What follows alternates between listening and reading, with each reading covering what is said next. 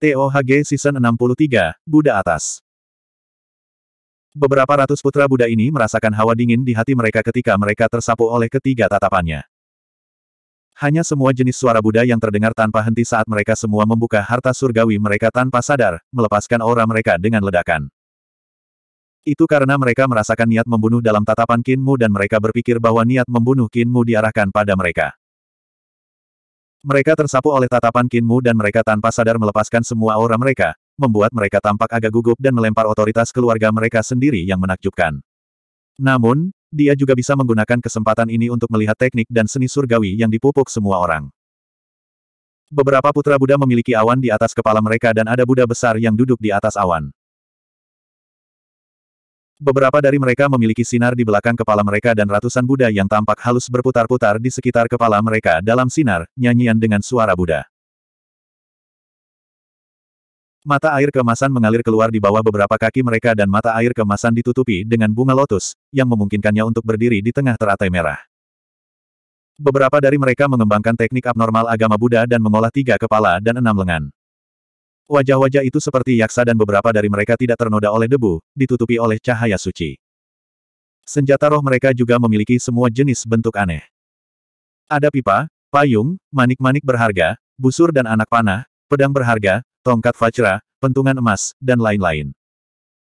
Ada juga beberapa orang yang telah membudidayakan binatang buas aneh menjadi senjata, menggunakan kivital mereka untuk mengendalikan binatang buas aneh untuk menyakiti orang. 20 surga Buddhisme memiliki Buddha yang berbeda di setiap surga, oleh karena itu tekniknya berbeda. Dan selain teknik Buddhisme, banyak seni pamungkas dari langit surgawi juga dipaksa keluar oleh tatapan Kinmu. Di bawah tatapan mata ketiganya, semua kultivasi, ranah, dapat dilihat dengan jelas. Anak Buddha ini bukan tokoh seperti Kijiwi.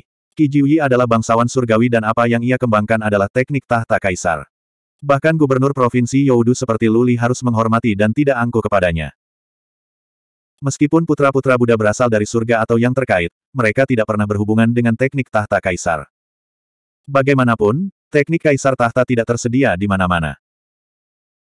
Kalau tidak, langit surgawi tidak akan mengirim mereka maju untuk mencoba dan mempelajari kitab suci kaisar Brahma Buddha yang sebenarnya. Sungguh berani. Raja Dharma Molun sangat marah dan dia berteriak, beraninya kamu membunuh seseorang di alam Buddha saya, kamu benar-benar setan. Kinmu tidak memperhatikannya dan dia menarik kembali tatapannya. Dia menunduk dan bergumam ketika dia melihat tangannya. Bahkan ketika saya bertarung dengan Kijiwi dan Zehuali, saya belum pernah membuka ketiga mata sebelumnya, saya tidak tahu langkah mana yang telah saya kembangkan. Raja Dharma Molun sedikit terkejut dan dia akan meledak ketika suara Buddha Sakra datang dari biara yang bobrok. Junior Bruder Molun, tenang. Kematian pasti terjadi selama perkelahian antara para murid, bisakah Anda menjadi orang yang akan bertarung? Kehidupan seseorang hanya hidup dalam tubuh manusia, sekarang putra mahkota Yue Guang telah menumpahkan tubuhnya yang fana, dia bebas sekarang dan itu adalah sesuatu yang menggembirakan. Peraturan telah ditetapkan, biarkan putra-putra Buddha menantang Lai Person Qin, siapa pun yang menang akan mengambil posisi terakhir dan memasuki biara untuk mempelajari tulisan suci kaisar yang sebenarnya. Kemarahan Dharma Raja Molun tidak bisa ditahan tetapi ia menahannya. Dia berpikir sendiri. Buddha Sakra berdiri untuk bocah ini. Tidak menyangka dia bisa mengatakan sesuatu yang tak tahu malu ini. Namun, karena Buddha Sakra telah berbicara, dia tidak berani mengabaikan kata-katanya dan berpikir sendiri.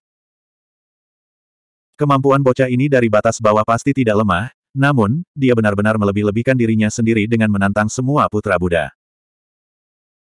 Tulisan suci Kaisar Brahma Buddha benar penting, tidak baik untuk jatuh sekarang, aku harus mendapatkan kitab suci yang benar terlebih dahulu. Di vihara yang bobrok, Buddha Sakra yang memahami teknik Kaisar Tahta sejati mendengus. Bukan dia yang berbicara untuk menghentikan Dharma Raja Molun. Dia saat ini memahami kitab suci yang sebenarnya, jadi mengapa dia punya waktu untuk memperhatikan dunia luar. Siapa yang meniru suaraku? Betapa mirip. Betul, itu pasti Brahma Senior, hanya dia yang bisa meniru suaraku sehingga orang lain tidak bisa membedakan. Buddha Sakra mengangkat alisnya. Ini harus menjadi omong kosong pertama, kan? Dan itu bahkan digosok oleh kakak saya secara pribadi. Semoga itu satu-satunya omong kosong. Pangeran Mahkota Riguang dari surga langit ada di sini untuk menaklukkan iblis di hatimu. Putra Mahkota Riguang maju selangkah dan matahari bersinar terang di belakang kepalanya. Dia berkata dengan acuh tak acuh, Anda berasal dari batas bawah. Batas bawah, tempat kemiskinan, untuk memiliki bakat langka, Anda dimaafkan karena sombong dan menghina. Kinmu tidak mengangkat kepalanya untuk menatapnya. Sebaliknya, dia terus melihat tangannya dan berpikir untuk dirinya sendiri. Nenek Sidan yang lainnya selalu ingin aku menutup mata ini, tetapi jika aku menutup mata ini, itu juga membuatku tidak bisa tahu seberapa besar kemampuanku telah meningkat. Seberapa kuat kekuatan sejatiku. Saya akhirnya bisa tahu sekarang. Dia tiba-tiba memberi beberapa getaran. Dia menggigil karena kegembiraan. Dia akhirnya bisa melepaskan kekuatan penuhnya dengan nyaman dan menyerang tanpa peduli. Dia akhirnya tidak bisa khawatir membawa terlalu banyak masalah kepada teman-teman dan keluarganya karena keinginannya untuk menghancurkan dan kekuatan penghancurnya terlalu kuat. Dia akhirnya bisa membebaskan dirinya dan kembali menjadi bocah reruntuhan hebat yang tidak takut pada apa pun di dunia. Pemuda reruntuhan besar hanya perlu bertindak sesuai dengan aturan reruntuhan besar. Semua aturan lain hanyalah batasan yang ditempatkan oleh dunia luar, mereka tidak terkait dengan pemuda reruntuhan besar. Kekeke. Hahaha. Kinmu tertawa dan tawanya semakin keras. Putra Mahkota Riguang sedikit mengernyit dan dia berkata dengan tenang, saya Putra Mahkota Riguang, yang mulia negara Buddha Cahaya Matahari. Saya sesama mahasiswa Putra Mahkota Yue Guang di Istana Pedang Langit Surgawi. Kami telah mempelajari pedang bersama dan persahabatan kami sangat dalam. Berhenti mengomel, jika kamu sangat merindukannya, aku akan mengirimmu ke bawah untuk menemaninya. Kinmu menamparkan dengan tangannya yang terentang dan pelet pedang tiba-tiba diperluas. Ketika itu meledak, pedang terbang yang tak terhitung jumlahnya melonjak keluar dan seolah-olah itu adalah awan yang menutupi langit. Matahari di belakang kepala putra mahkota Riguang tiba-tiba meledak dan dia tertawa. Aku sudah menunggu sebentar. Matahari di belakang kepalanya memancarkan api dan itu berbeda dari Moonlight Sword putra mahkota Yue Guang. Pedangnya membawa api murni yang sejati dan bersinar seperti matahari, membakar semuanya dengan tebasan. Cahaya pedangnya tersembunyi di dalam api dan sinar matahari yang sangat menyilaukan sehingga orang tidak bisa membuka mata mereka untuk melihat pedangnya. Pedang Surgawi Agung Sun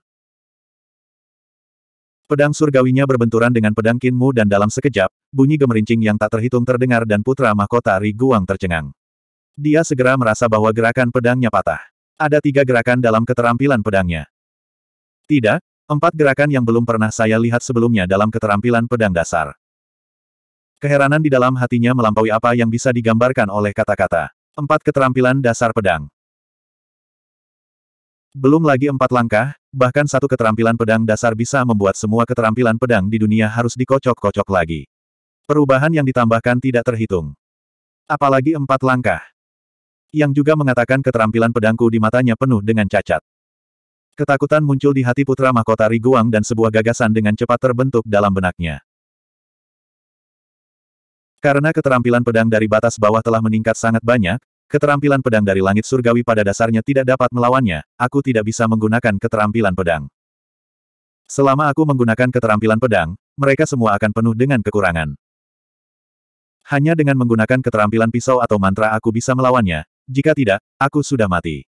Itu benar, mengapa aku belum mati? Dia melihat delapan ribu pedang kinmu seperti awan dan pedang di awan seperti ikan berenang. Mereka mengeksekusi semua jenis gerakan pedang yang berbeda dan melewati tubuhnya tanpa menumpangkan tangan padanya. Putra mahkota Riguang tertegun dan dia melihat ke bawah. Dia melihat tubuh jasmaninya seperti saringan yang rusak. Ada lubang berdarah yang membuka bagian depan dan belakang tubuhnya. Pikirannya agak pusing dan dia mengangkat tangannya untuk menyentuh kepalanya. Salah satu jarinya masuk ke kepalanya.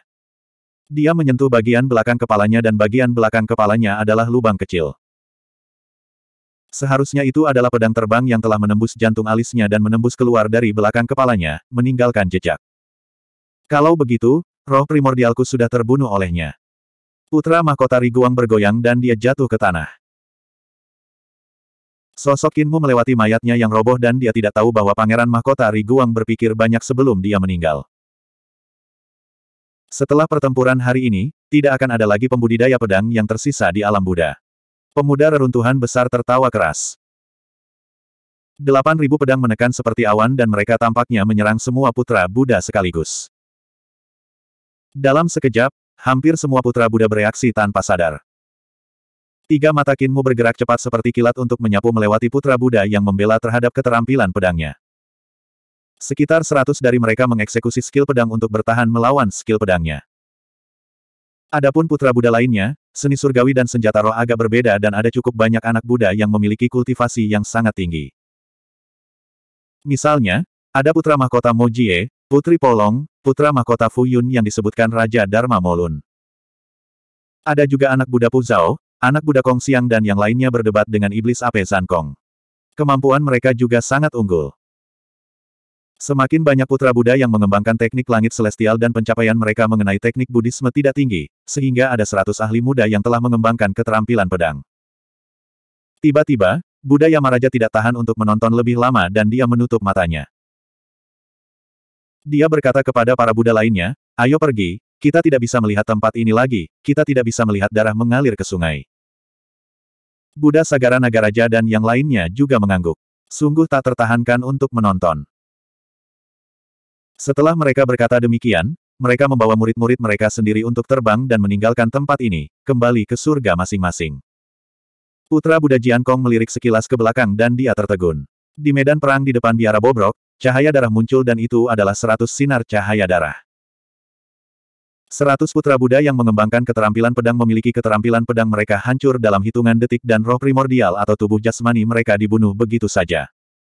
Anak Buddha, Hati Jiankong merasa takut dan anggota tubuhnya menjadi dingin. Dia terdiam. Dalam pandangan terburu-buru ini, Kinmu sudah mengumpulkan pedangnya kembali menjadi pelet dan mengubah pelet menjadi pisau. Membagi pisau panjang menjadi dua, langkah kakinya bergerak tidak teratur dan secepat kilat. Tubuhnya kadang kiri, kadang kanan, kadang depan dan kadang belakang.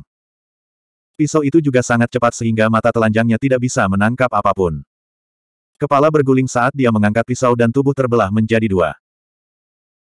Dua lampu pisau di tangannya seperti naga panjang yang bergerak tanpa hambatan dengan busur lebar. Tiba-tiba, sebuah gerbang terbuka di belakangnya dan mengungkapkan Youdu yang gelap. Gerbang itu bergerak bersama dengan tubuhnya dan ke mana pun gerbang melewatinya, Putra Buddha memiliki roh primordial mereka ditelan oleh gerbang ini sebelum mereka bahkan memiliki kesempatan untuk bereaksi. Hanya kerang kosong yang tersisa. Kulit kepala anak Buddha merangkak dan tubuhnya bergetar. Dia melihat pisau panjang di tangan Kinmu berubah menjadi tombak panjang yang menusuk Putri Polong. Dengan sentakan tombak, Putri Polong yang manis dan menawan itu terbelah menjadi beberapa bagian. Selanjutnya, Kinmu menikam tombak ke tanah dan pedang terbang yang tak terhitung jumlahnya tersebar untuk berubah menjadi bel besar untuk menutupinya. Itu mengelilinginya dan berputar-putar dengan marah untuk memblokir seni surgawi dan senjata roh dari putra Buddha lainnya. Kinmu menyerang dengan marah di bel dan setiap pukulan dan setiap tendangan sangat jelas. Kekuatan kekerasan mencapai luar melalui bel dan menghancurkan semua tulang putra Buddha yang datang untuk bertarung dalam pertempuran jarak dekat dengan teknik pertempuran mereka. Jian Kong, tidak perlu melihat lagi. Buddha Yamaraja menghela nafas dan berkata, jika kamu melihat lagi, hati Buddha kamu akan terpengaruh. Putra Buddha Jiankong heran dan dia ingin mengatakan sesuatu. Namun, tenggorokannya kering sehingga dia tidak bisa mengatakan apa-apa. Setelah mengompol, suaranya masih agak serak. Buddha saya, bagaimana para Buddha bisa mentolerir Lai Person Kin untuk memulai pembantaian seperti itu? Apalagi yang bisa kita lakukan jika kita tidak mentolerirnya?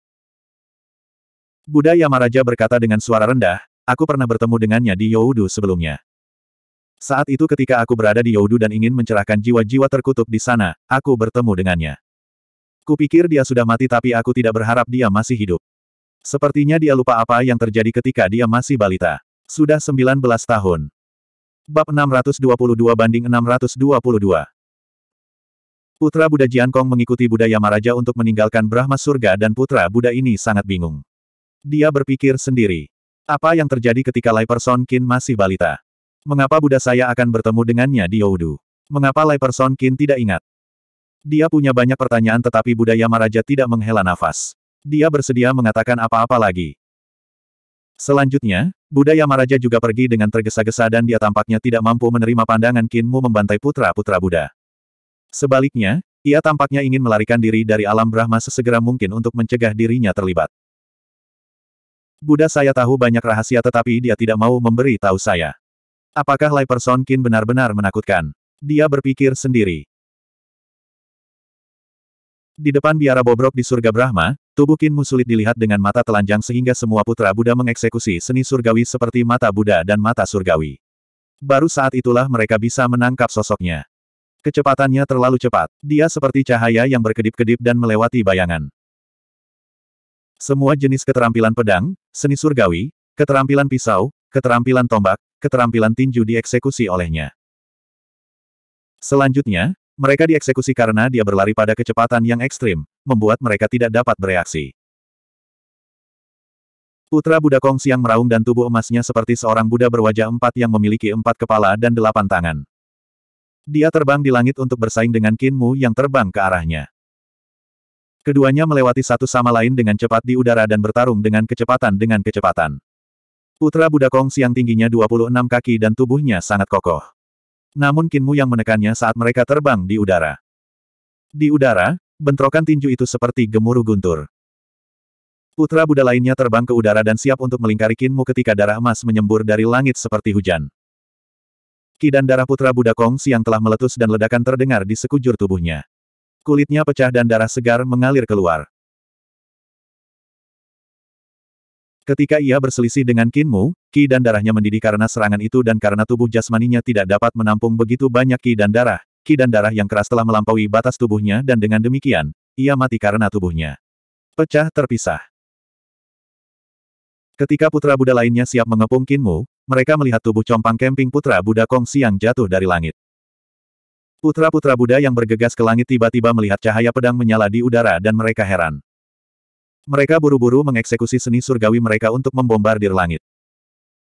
Namun, mereka melihat cahaya pedang yang seperti lautan darah berserakan.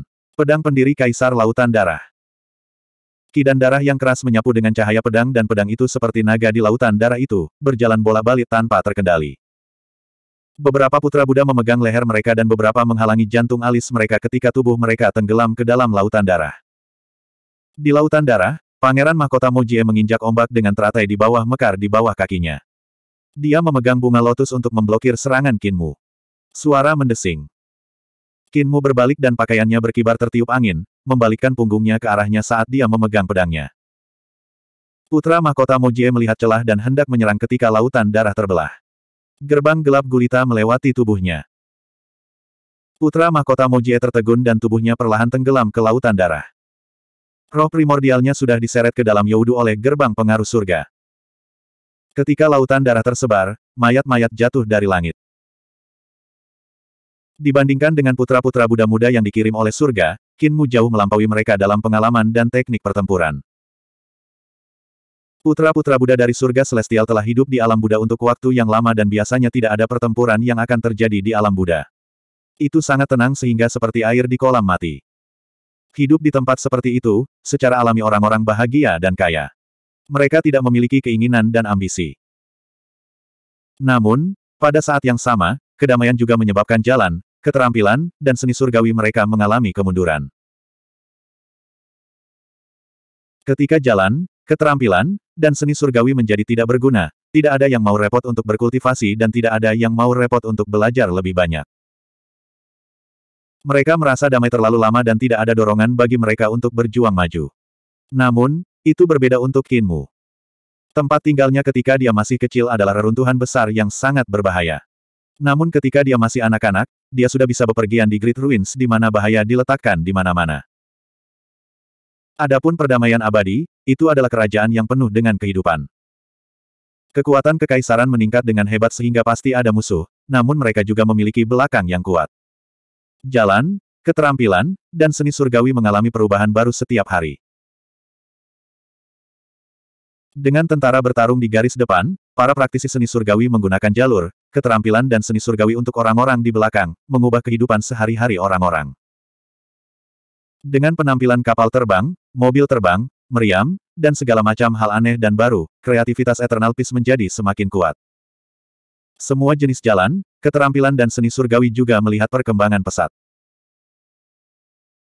Adapun Kaisar Agung Surga, karena perang itu terlalu pahit, mereka tidak memiliki belakang yang kuat sehingga struktur masyarakat tidak lengkap. Tanpa dasar kreativitas, jalan, keterampilan, dan seni surgawi mereka tidak akan pernah bisa berkembang. Kinmu lahir di reruntuhan besar dan sejak dia masih muda, dia telah diajar dengan cermat oleh sembilan tetua. Dia mengejar ekspansi kekaisaran perdamaian abadi dan era di mana Eternal Peace Imperial Preceptor melakukan reformasinya, dengan demikian, memiliki prestasinya saat ini.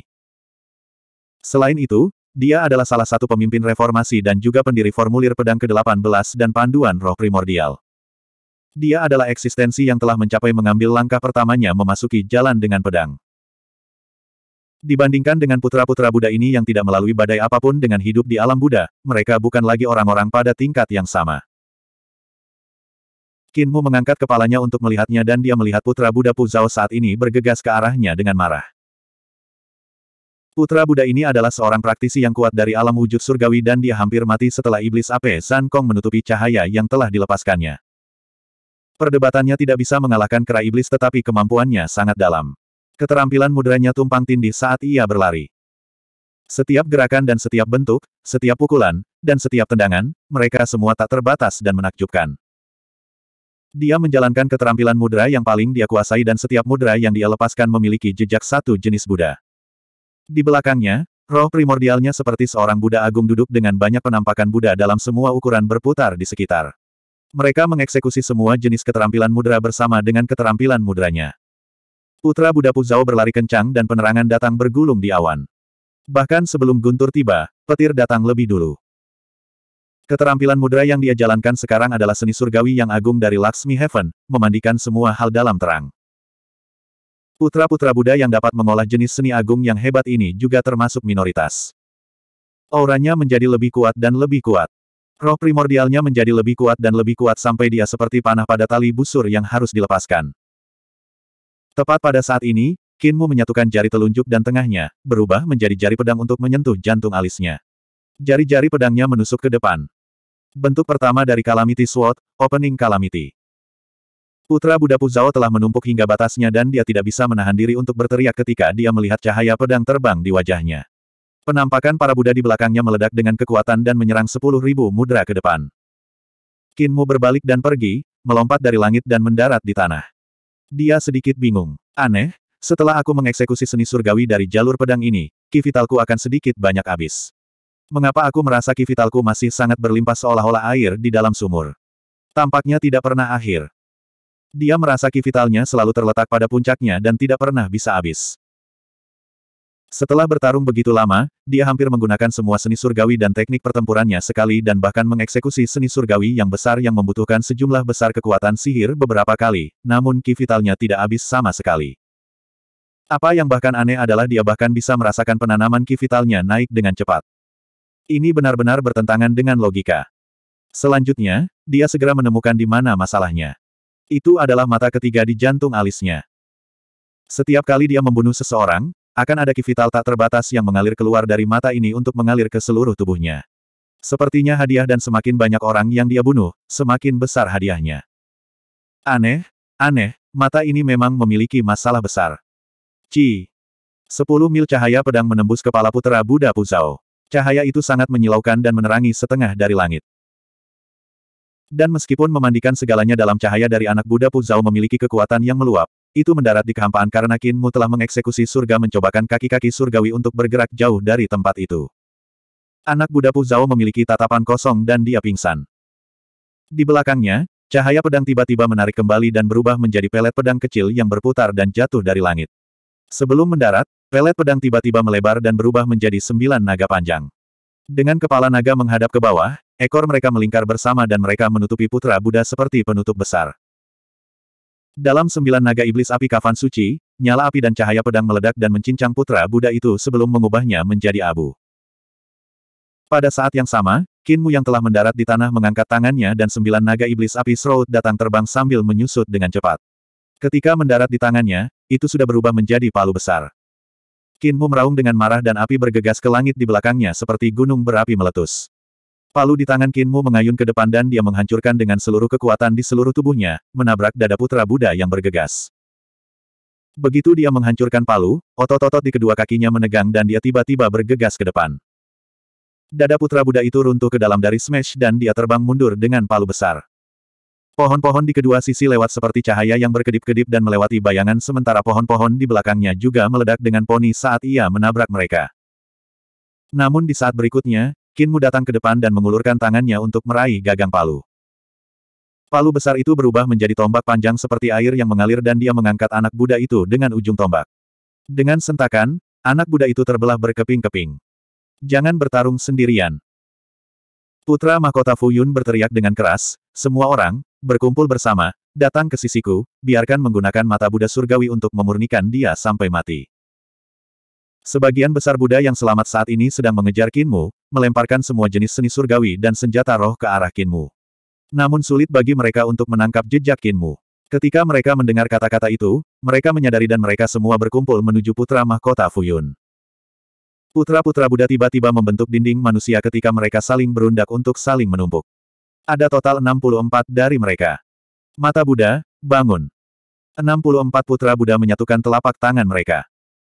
Beberapa dari mereka memiliki tiga kepala dan enam lengan, beberapa dari dua sisi pada satu tubuh, beberapa dari mereka memiliki bentuk sebenarnya dari Raja Kebijaksanaan, beberapa dari mereka memiliki tubuh arhat dan semuanya mengeksekusi mata Buddha mereka. Menyapu racun iblis, menaklukkan iblis dan iblis. Suara mereka bergema keras dan aura semua orang saling terhubung. Mereka seperti benteng besi dan cara mereka yang mengesankan seperti kota. Swoosh! Cahaya Buddha berkumpul menjadi banjir untuk mengguncang gunung. Mereka menyebabkan ruang bergetar tanpa henti saat mereka menembak ke arah Kinmu sekaligus. Seketika, cahaya Buddha sangat kuat dan suara Buddha sangat keras. Di mana pun suara Buddha yang lewat diubah menjadi debu oleh getaran.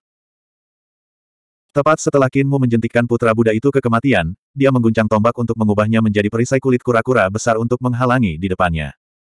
Ledakan. Tubuhnya bergetar hebat dan dia terbang ke udara bersama dengan perisainya. Perisai di depannya dibentuk oleh 8.000 pedang dan pada titik ini, mereka tidak bisa lagi memegang bentuk perisai mereka. Pedang terbang itu bergetar oleh cahaya Buddha dan mereka hancur tepat setelah itu. Kinmu mendengus dan dia mengeluarkan mulut darah. Tubuhnya terlempar keluar dari pulau ini di laut kemasan cahaya Buddha, menghancurkannya ke puncak gunung yang muncul di laut emas. Putra mahkota Fuyu dan 64 putra Buddha terbang ke langit dan mereka sampai ke langit di atas laut emas. Di udara, mereka semua berteriak serempak, Dharma tidak terbatas, sedang turun ke batas bawah. Dentingan.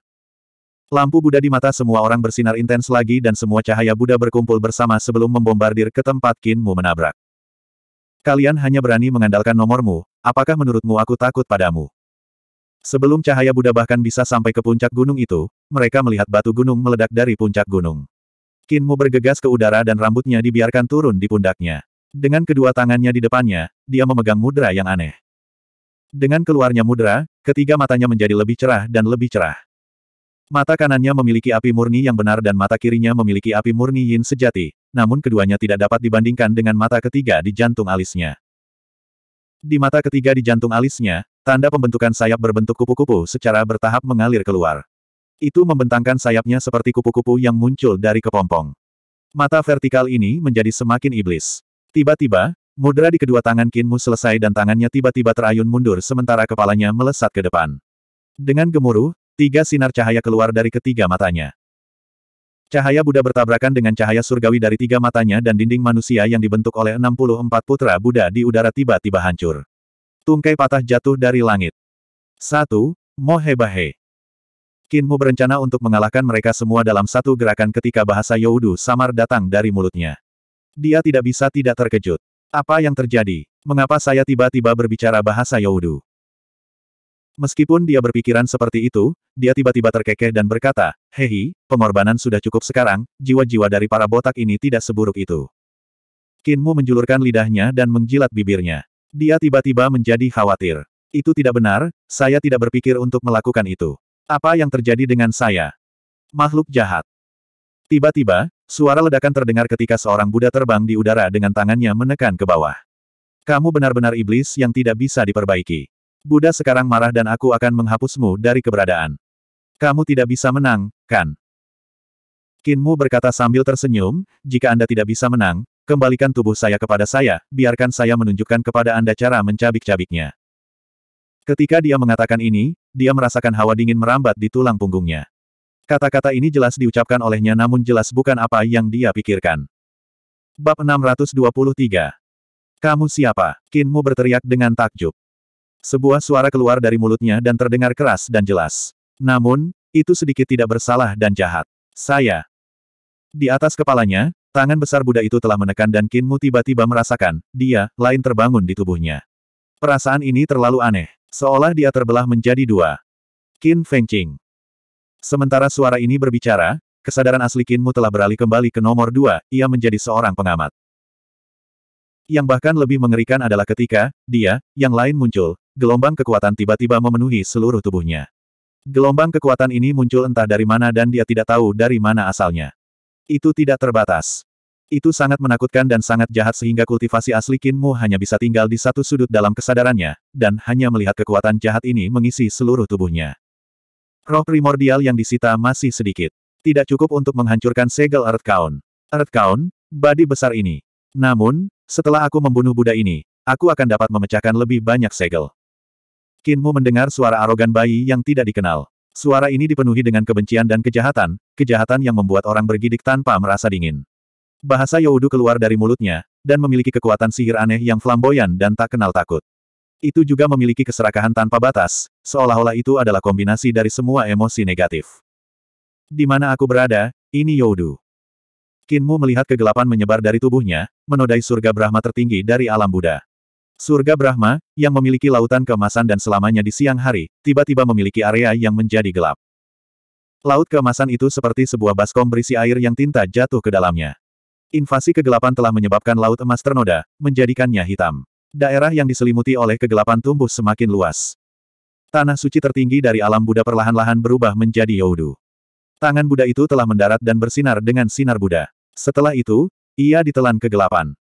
Sang Buddha berteriak dengan takjub, menarik telapak tangannya dari kegelapan. Tangan gemuk Buddha telah berubah menjadi tulang putih.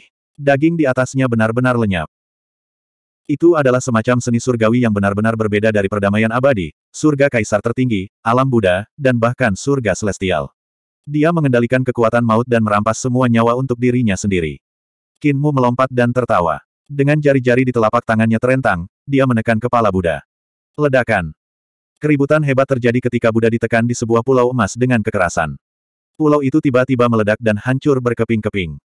Kinmu juga melihat transformasi aneh terjadi pada tubuhnya. Tubuhnya tumbuh dengan marah, menjadi lebih tinggi dan lebih tinggi. Namun, usianya tampaknya perlahan-lahan mengalami kemunduran saat ia semakin muda. Dia menjadi semakin seperti balita. Untungnya, pakaian yang telah dibuat kepala bulu surgawi Yu Zhaoqing sangat luar biasa. Itu dibuat dengan bahan terbaik dari Heavenly Federace, jadi itu juga senjata roh yang luar biasa yang bisa berubah sesuai dengan ukuran tubuhnya. Pada saat ini, tingginya sudah lebih dari 30 meter. Namun, usianya sudah mundur ke penampilan berusia 4 hingga 5 tahun. Dia tampak seperti bocah lelaki yang menggemaskan. Meskipun bocah ini terlihat menggemaskan, dia memiliki kekuatan yang tak terbatas. Lebih jauh, dia juga sangat jahat, hampir menghancurkan kepala Buddha itu. Tidak hanya itu, Bocah lelaki, ini mengangkat Buddha itu dengan satu tangan, mengangkatnya ke udara. Dia membuka mulutnya dan mengisap dengan paksa.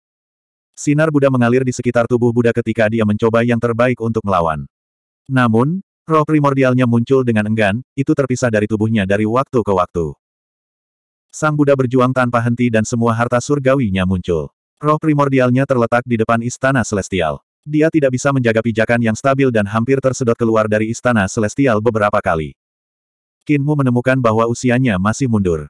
Dia berusia 4 hingga 5 tahun beberapa saat yang lalu, dan sekarang dia bahkan belum berusia 3 tahun. Pada saat ini, Raja Dharma Molun tiba dan menanam mudra tepat di belakang hati Kinmu. Kinmu membawa Buddha itu jatuh beberapa putaran. Dia melayang di sekitar Laut Emas dan menghancurkan beberapa gunung sebelum berhenti. Sementara itu, Buddha itu memiliki roh primordialnya yang dihisap dengan satu mulut. Roh primordial Buddha ini tidak mendarat ke mulut Kinmu. Sebagai gantinya, Roh primordial melengkung dan memasuki mata ketiganya. Kinmu terkejut saat dia tiba-tiba menyadari. Dia akhirnya mengerti sekarang mengapa aula Raja Qin runtuh setelah Raja Yama dari Fengdu menekan segelnya, dan mengapa Raja Yama terjebak di pilar itu.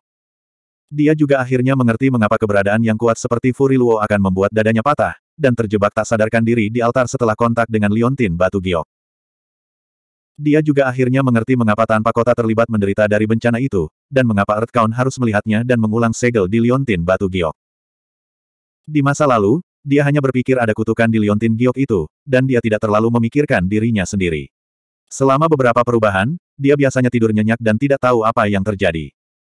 Akhirnya, dia akhirnya mengerti. Kutukan yang sebenarnya adalah dirinya sendiri, atau lebih jelasnya, itu adalah, dia, lain di tubuhnya. Alasan mengapa dia tertidur di masa-masa sebelumnya adalah karena dia yang lain terlalu kuat ketika dia mengambil alih tubuh jasmaninya. Alasan mengapa dia sadar sekarang adalah karena Meterai Earth Count terlalu kuat. Yang lain dia tidak bisa melepaskan segel sepenuhnya, yang menghasilkan dua kesadaran berbagi tubuh yang sama pada saat yang sama. Masih ada waktu baginya untuk berpikir. Dharma Raja Molun dan tiga Buddha lainnya datang bergegas ketika menginjak Laut Emas. Keempat Buddha melaksanakan semua gerakan mereka untuk menyerangnya dan seni surgawi mereka meluap ke langit.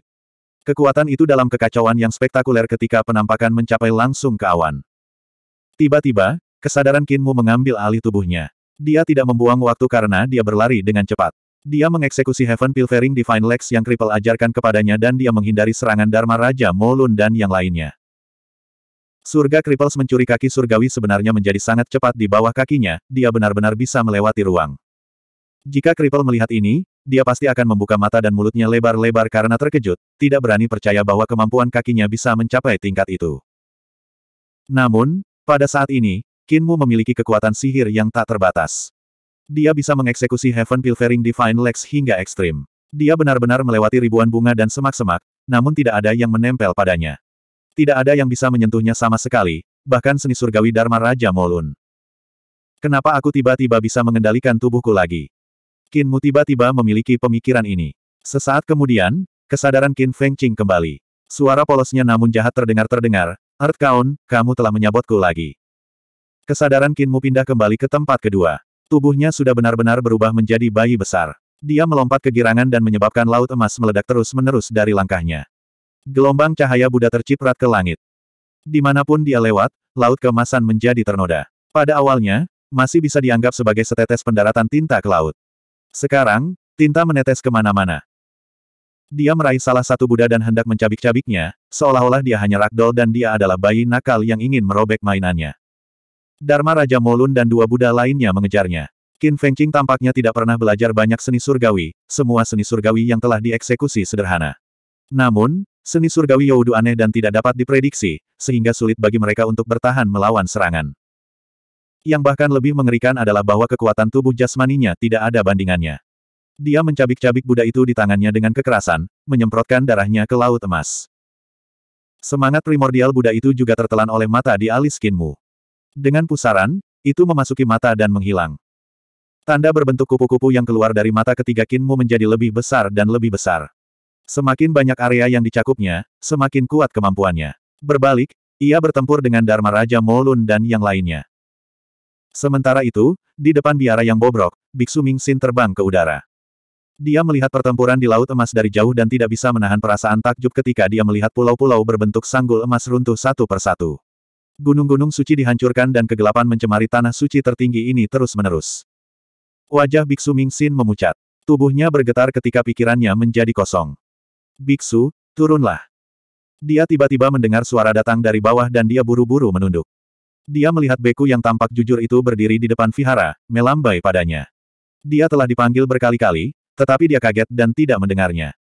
Beku itu berkata sambil tersenyum, turunlah cepat. Raja Iblis Besar akan segera membantai jalannya di sini. Mari kita sembunyi di biara. Biksu Mingxin buru-buru berkata, saudara senior Qin tidak akan membunuhku. Apakah kamu benar-benar berpikir bahwa dia adalah kakak mungkin? Biksu Mingxin memandang ke arah laut emas, yang hampir menjadi lautan tinta. Bayi besar yang diubah Kinmu saat ini sedang meraih Buddha dan memukulnya, mengubah Buddha itu menjadi bubur berdarah. Tiba-tiba, dia mendengar ledakan yang menghancurkan bumi ketika tubuh besar Dharma Raja Molun terbang mundur dan keluar dari laut emas. Dia jatuh dan menabrak pulau ini, menghancurkan hutan saat dia datang menghancurkan. Sementara itu, Bayi yang diubah Kinmu sedang memakan semangat primordial Buddha lain. Saat dia makan, dia melompat dan bergegas ke arah mereka. Biksu Mingxin tidak bisa menahan diri untuk tidak menggigil. Dia terbang sekaligus. Beku yang tampak jujur membuka pintu biara dan memanggilnya. Biksu Mingxin bergegas menghampiri dan dia tiba-tiba teringat sesuatu. Jika Brahma Buddha mengizinkan tiga orang untuk masuk dan mempelajari tulisan suci Kaisar Tahta, bukankah ketiga tempat itu akan terisi sejak saudara senior Zan Kong dan Buddha Sakra telah datang? Saat dia memikirkan hal ini, bayi besar yang diubah Kinmu menjadi mengangkat Dharma Raja Moulun dengan kakinya dan menghancurkannya di sana-sini. Dia membelah gunung-gunung dan memecahkan tanah, menyebabkan Raja Dharma Molun bertahan pada napas terakhirnya. Biksu itu dengan cepat menutup pintu dan memotong pandangan Biksu Mingxin. Dia mendorong Biksu Mingxin ke halaman saat dia berkata sambil tersenyum, Kakak senior, kamu beruntung. Jika kamu berjalan masuk, kamu akan bertemu dengan Brahma Buddha dan menerima tulisan suci Kaisar Tahta Suci. Pergi, pergi. Biksu Mingxin linglung saat ia berjalan terhuyung ke depan. Biara ini tidak tampak besar, tetapi setelah berjalan jauh, masih belum ada akhirnya. Jeritan Dharma Raja Molun terdengar dari luar. Rambut Biksu Mingxing berdiri setelah mendengarnya. Sampah. Saudara senior Qin dalam bahaya. Dia membunuh begitu banyak putra Buddha dan sekarang dia telah membunuh lima Buddha, termasuk Raja Dharma Molun. Bagaimana Buddha Brahma bisa mentolerirnya? Dia berbalik dan berlari keluar dari biara sambil berpikir untuk dirinya sendiri. Saya tidak bisa membiarkan Buddha Brahma membunuh saudara senior Qin. Tiba-tiba, dia mendengar suara seorang Buddha berkata, luar biasa, luar biasa. Kembali dan pantai sudah dekat. Biksu Mingxin tertegun. Dia melihat seorang Buddha Agung di depannya dan dia semua jenis suci. Dia tersenyum padanya. Mingxin, jika kamu selalu berjalan maju dan tidak berbalik, kamu tidak akan pernah melihatku. Sekarang setelah kamu kembali, kamu dapat mencapai jalanku. Buddha Agung itu menambahkan sambil tersenyum, naiklah, aku akan memberimu kitab suci kaisar yang sebenarnya. Biksu Mingxin berjalan maju meskipun merasa khawatir untuk Kinmu. Dia akan memohon pada Buddha Agung ini untuk memaafkan hidup Kinmu ketika Buddha Agung itu berkata sambil tersenyum, hatimu yang baru lahir berbeda dari Sankong. Empat elemen Zan Kong adalah kesombongan dan dia memiliki akar kearifan alami. Sifatmu lebih rendah daripada dia, tetapi Anda memiliki sesuatu yang tidak dia miliki. Oleh karena itu, apa yang saya berikan kepadanya adalah firman sejati yang tanpa kata-kata, sementara saya akan memberi Anda kitab kata-kata surgawi. Sebuah kitab muncul di tangan Buddha Agung dan dia memberikannya kepadanya. Meskipun Biksu Mingxin memegang tulisan suci kaisar, ia masih khawatir tentang keselamatan Kinmu. Dia tidak tega membaca. Buddha Agung itu tersenyum. Teman kecil Qin memiliki takdirnya sendiri, kamu tidak perlu khawatir untuknya. Fokus saja untuk memahami ini. Mendengar kata-kata itu, Biksu Mingxin menenangkan hatinya dan membuka tulisan suci. Dia melihat tulisan-tulisan pada tulisan suci melompat-lompat terus-menerus dan merekonstruksi diri mereka sendiri. Itu sangat luar biasa dan menggambarkan alasan tertinggi agama Buddha. Di luar biara, setelah bayi besar Qin Fengqing menelan Dharma Raja Molun, dia menjulurkan lidah untuk menjilat bibirnya. Dia melompat-lompat dengan penuh semangat, menyebabkan tanah bergetar terus-menerus. Meterai Earth Count melonggarkan lagi, hihi, selama aku makan semua orang di alam Buddha ini, aku benar-benar bisa membebaskan diri. Aku akan mengubah alam Buddha ini menjadi Yaudu lain dan aku bisa menjadi Earth Count-ku sendiri, milikku sendiri Raja. N. Aku masih harus pergi ke Yaudu dan menjemput ibu agar kita bisa menjalani hidup kita dengan bahagia, tidak harus melihat wajah kaun bumi. Eh, masih ada biara di sini. Mari kita hancurkan dan makan semua orang di dalam sebelum pergi ke alam Buddha lainnya untuk memakannya. Ledakan. Biara terpecah-pecah dan bayi besar berlari dengan kakinya yang tidak proporsional untuk bergegas ke dalamnya. Jalan di depan sangat panjang. Bayi besar itu terhuyung ke depan. Ketika dia berjalan, dia merasa berjalan dengan dua kaki itu tidak nyaman, jadi dia mungkin juga merangkak maju dengan tangan dan kakinya. Suara menyapu tiba-tiba terdengar dan seorang biarawan menyapu muncul di depannya. Biksu itu buru-buru membuang sapu ketika dia melihatnya dan hendak lari. Bayi besar itu senang ketika dia meraih biksu yang menyapu dan berkata sambil tersenyum, meskipun kamu sedikit tua, itu lebih baik daripada tidak sama sekali. Setelah mengatakan ini, dia merobek kepala beku ini dan mengeluarkan roh primordialnya untuk menyerap ke mata ketiga. Jika ini aku, aku toh tidak akan memakannya, di dalam tubuh bayi besar itu, kesadaran Kinmu berkata dengan kesal. Setelah menelan roh purba dari biksu yang menyapu, Bayi besar itu tiba-tiba berteriak, sial, aku tertipu. Mana yang berani menipuku? Kinmu tiba-tiba merasakan kesadarannya mendapatkan kembali kendali atas tubuhnya. Dia tidak bisa membantu tetapi merasa terkejut dan senang. Tubuhnya juga secara bertahap menyusut kembali ke ukuran normal. Dia melihat kepala beku yang terputus itu kembali ke kepalanya. Biksu yang menyapu itu berdiri di sana dengan sapunya dan menatapnya sambil tersenyum. Kinmu membungkuk dan menyapa, pria liar dan kasar, Kinmu, memberikan penghormatan kepada Buddha Brahma. Bab 624. Pria liar dan kasar. Biksu yang menyapu memegang sapu dan dia berkata sambil tersenyum, apakah Cult Master Qin berpikir Anda dapat menyingkirkan semua tanggung jawab dengan menyebut diri Anda seorang pria yang kasar? Anda telah membunuh 367 putra Buddha, dan juga Buddha dari Chandra Surga, serta lima Buddha. Anda juga telah menodai setengah dari Brahma Surga saya dan mengubahnya menjadi setengah Yaudu. Bagaimana saya bisa melepaskan Anda begitu mudah? Kinmu berkata dengan jujur, semoga Buddha menghukumku. Beku besar itu memandangnya tanpa bicara. Setelah beberapa saat, dia tersenyum. Jika aku mengatakan itu sepenuhnya salahmu, itu tidak adil bagimu. Meskipun kamu jujur dan tulus, kamu pasti tidak akan menerima itu dalam hatimu. Orang-orang yang baru saja kamu bunuh adalah semua orang yang dikirim ke alam Buddha dari langit surga. Alasan mengapa Sakra Buddha telah mengambil daun willow emas di dahi Anda adalah karena ia ingin meminjam tangan Anda untuk memusnahkan kekuatan langit surgawi telah ditempatkan di alam Buddha. Selanjutnya, dengan melepaskan Qin Feng Qing, ia akan juga membahayakan hidup Anda. Anda sangat pintar dan Anda sudah melihat melalui titik ini, itulah sebabnya Anda berani memulai pembantaian tanpa rasa takut. Anda tahu bahwa Anda tidak akan dihukum bahkan jika Anda melakukan hal semacam ini karena Sakra Buddha akan pasti melindungimu. Kinmu menundukkan kepalanya. Murid ini tidak berani untuk menyalahkan. Sakra Buddha memiliki hati untuk menggunakan saya untuk menyingkirkan kekuatan langit surgawi, tetapi putra-putra Buddha ini memang telah mati di bawah tangan saya. Juga, akulah satu-satunya yang telah menodai tanah suci tertinggi agama Buddha. Ketika di depanku, kamu tidak harus menyembunyikan apa yang kamu pikirkan, tidak perlu dan tidak ada gunanya. Beku besar itu menambahkan, tebakanmu benar. Kesalahan ini seharusnya bukan tanggung jawabmu. Meskipun aku tidak menyetujui apa yang telah dilakukan Sakra Buddha, aku juga tidak menentangnya. Turunkan kepalamu. Kinmu membungkukkan badannya saat biarawan menyapu mengeluarkan daun willow emas. Dia meletakkannya dengan serius di jantung alisnya dan berkata sambil tersenyum, namun, saya tidak dapat menanggung kesalahan ini. Jika saya melakukannya, alam Buddha akan lenyap karena langit surgawi akan mengambil kesempatan untuk menghancurkannya dan mengambil alih. Oleh karena itu, kesalahan ini hanya dapat dilakukan oleh Sakra Buddha dan Anda. Sakra Buddha adalah saudara junior saya, sehingga ia dapat mengambil kotoran yang paling bau. Adapun Anda, Anda akan membawa sebagian kecil dari kesalahan yang tidak akan menghancurkanmu. Kinmu menghela nafas lega dan menyentuh daun willow emas di dahinya. Ini membuatnya memiliki ketenangan pikiran. Bukan hanya karena daun willow emas, itu juga karena kata-kata Buddha Brahma.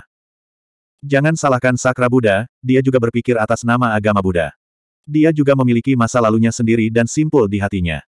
Biksu yang menyapu berjalan maju sambil menyapu lantai. Dia berkata sambil tersenyum, omong kosong yang dia butuhkan lebih dari cukup untuk menyiksanya. Akan sulit baginya untuk membersihkan dirinya sendiri. Meskipun langit surgawi tahu bahwa akulah yang diam-diam setuju, mereka tidak bisa menumpangkan tangan ke arahku tanpa bukti, jadi mereka hanya bisa pergi untuk sakra Buddha. Aku tidak akan menyingkirkan sifat iblis Yodu ini yang ada di sini di surga Brahma. Ini adalah bukti dari rilem Buddha saya tidak terlibat. Rilem Buddha saya juga menjadi korban. Kinmu mengikutinya dan berjalan melewati tempat-tempat yang telah disapu. Dia memuji, Buddha saya bijaksana. Biksu yang menyapu lantai berkata, langit surgawi terlalu besar dan busuk. Pada saat mereka menerima berita ini dan mengambil tindakan, mereka akan membutuhkan beberapa hari. Dalam beberapa hari ini, Anda dan Buddha Sakra akan meninggalkan alam Buddha, jadi bahwa kalian berdua tidak akan berada dalam masalah. Mudah bagimu untuk meninggalkan alam Buddha, tetapi alam kultivasi Buddha Sakra terlalu tinggi. Sangat sulit baginya untuk pergi. Kinmu merenung sejenak dan dia bertanya, Buddha tidak tahu bagaimana harus pergi dari sini. Saya sudah. Beku besar itu tampak terhibur. Namun, kamu tidak dapat menggunakan metodeku, aku masih perlu meninggalkan beberapa wajah untuk surga celestial. Jika aku mengirim sakra Buddha keluar, wajah ini tidak akan ada lagi. Oleh karena itu, kalian hanya bisa memikirkan ide sendiri. Jangan libatkan aku dan alam Buddha. Kinmu menggaruk kepalanya. Dia tiba-tiba berteriak, yang juga berarti bahwa kita membantu alam Buddha membersihkan kekuatan surgawi, mencegah alam Buddha jatuh ke kendali langit surgawi. Kemudian semua omong kosong dan kesalahan diletakkan pada saya dan Sakra Buddha, sementara alam Buddha dan Buddha akan sepenuhnya baik-baik saja. Kalian semua akan menerima semua manfaat sementara kita masih harus berlari demi kehidupan kita, apakah saya benar atau tidak? Beku besar itu mengangkat kepalanya dan tersenyum padanya. Tepat sekali. Kinmu tercengang. Setelah beberapa saat, dia bertanya, Apakah mereka di generasi yang lebih tua semuanya begitu jahat? Tepat sekali. Beku besar itu tertawa kecil. Namun, kami menyebut itu bijaksana dan tidak seram. Kinmu memiliki wajah hitam. Apa perbedaan antara bijak dan jahat? Biksu yang menyapu terus menyapu lantai sambil berseri-seri. Sebenarnya, kau dan aku sudah ditakdirkan untuk memulai. Kami sudah bertemu berkali-kali. Jangan khawatir, aku tidak akan membiarkanmu berada pada posisi yang kurang menguntungkan. Aku tidak akan memberikan tulisan suci Kaisar Tahta Sejati.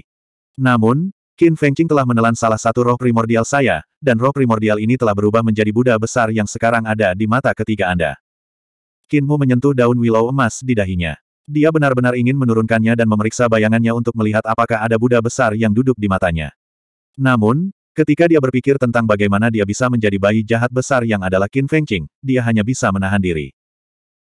Buddha Agung ini dapat disegel bersama dengan kaun bumi, membantu Anda untuk menekan Qin Fengqing dan mencegahnya keluar dari segel untuk menyerap Anda.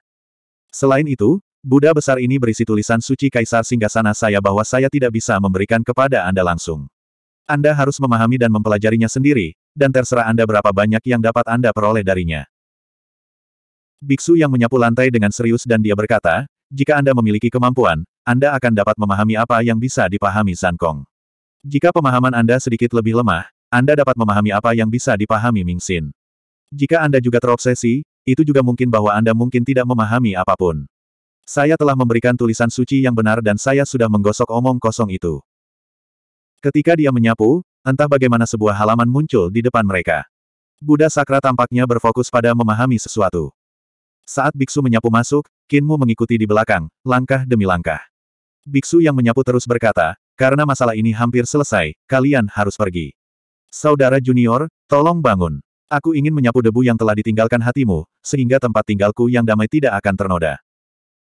Buddha Sakra tiba-tiba tersentak dari fokusnya ketika dia melihat ke arah beku itu.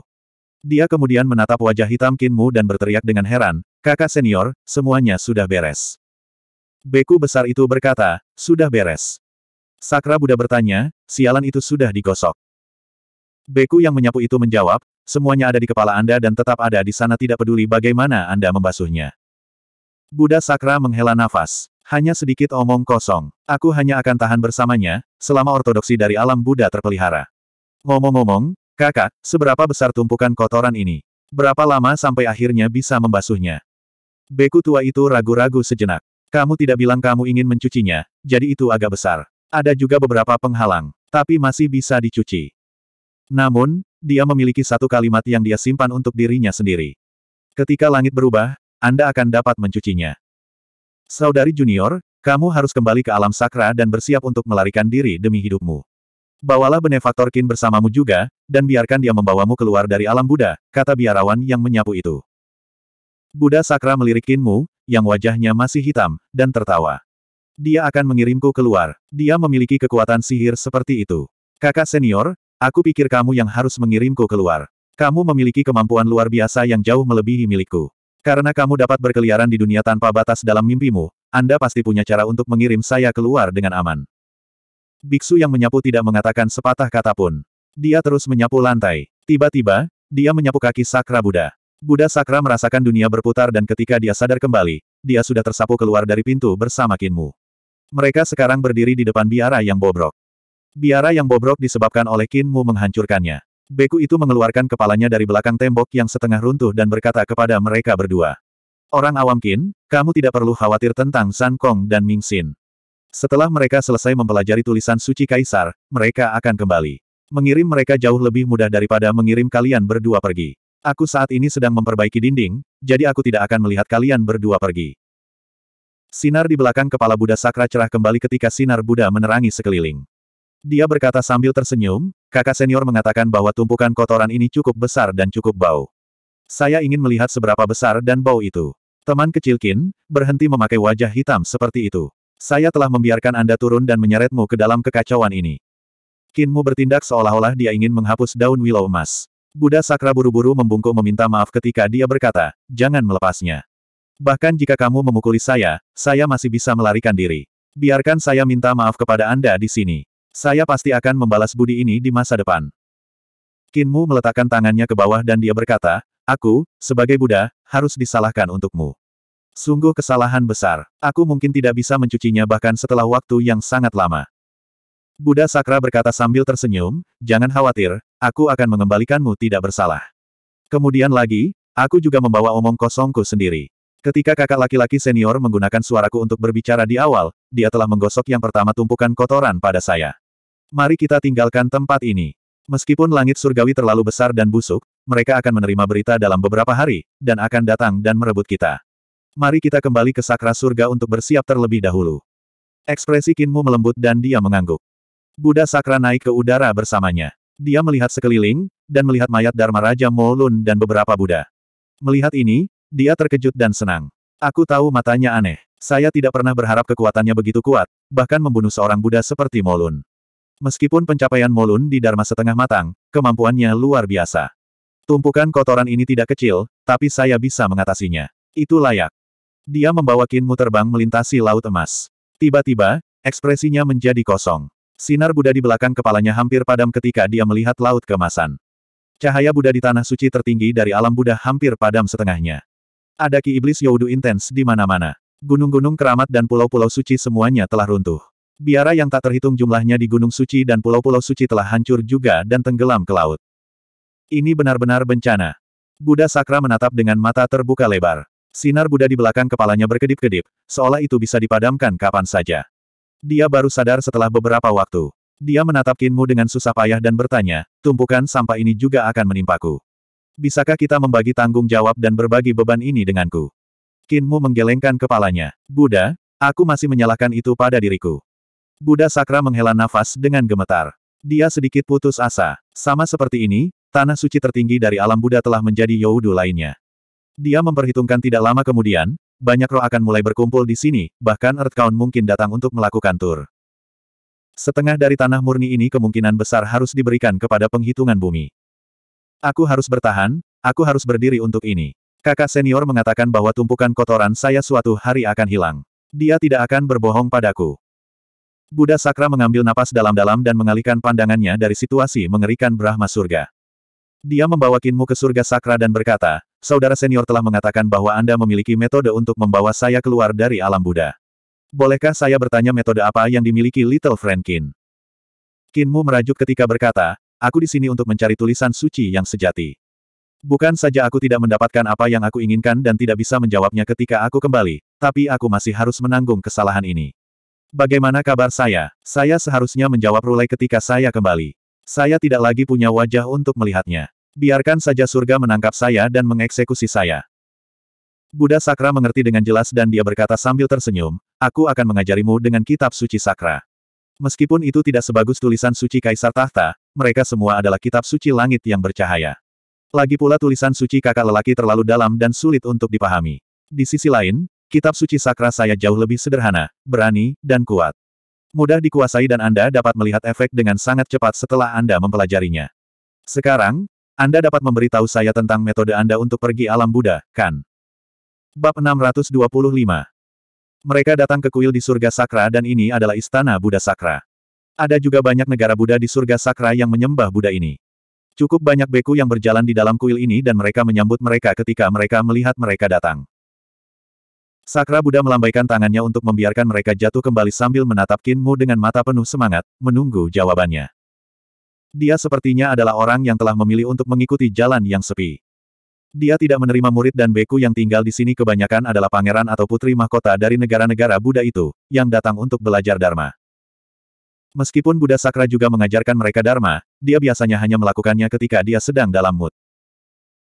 Namun, meskipun pangeran dan putri mahkota ini bukan muridnya, Budidaya mereka tidak lemah dan mereka tidak kalah dengan putra Buddha Kinmu yang telah terbunuh.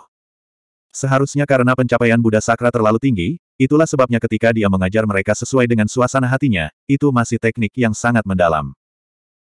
Kinmu merenung sejenak dan dia berkata, saya bisa membuka gerbang pengaruh surga dan mengirim Anda ke Youdu. Dengan kemampuan Buddha, Anda mungkin dapat melintasi gerbang pengaruh surga dengan tubuh jasmani Anda dan tidak memiliki roh purba Anda diambil.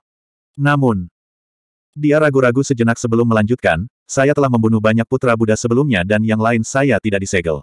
Saya merasa bahwa yang lain saya bisa bersembunyi di balik pintu dan mempersiapkan untuk makan orang. Apakah Buddha mampu mengalahkan yang lain saya? Buddha Sakra mengedipkan matanya dan memikirkan alam Brahma yang telah ternoda. Dia memikirkannya dengan hati-hati sejenak dan dia menggosok kedua telapak tangannya. Aku mengerti sekarang. Untuk menyegel dirimu yang lain, Earthcount mengambil sepotong Youdu dan menjebaknya di dalam. Yang lain kamu memiliki kekuatan sihir yang besar sehingga dia mengubah seni surgawi untuk mengubah tempat di mana pengaruh-pengaruh gerbang surga terhubung ke tempat di mana Earthcount menindasnya dan bukan Youdu. Dalam hal itu, roh primordial dari para praktisi seni surgawi yang Anda bunuh akan dicegat olehnya dan dimakan. Jika saya melewati gerbang surga pengaruh untuk memasuki Youdu, saya akan muncul di tempat di mana ia sedang ditekan dan bukan Youdu. Di kedalaman mata ketiga Kinmu, sebidang tanah mengambang dan itu adalah tanah yang diambil kaun bumi dari tanduknya dari sembilan belokan.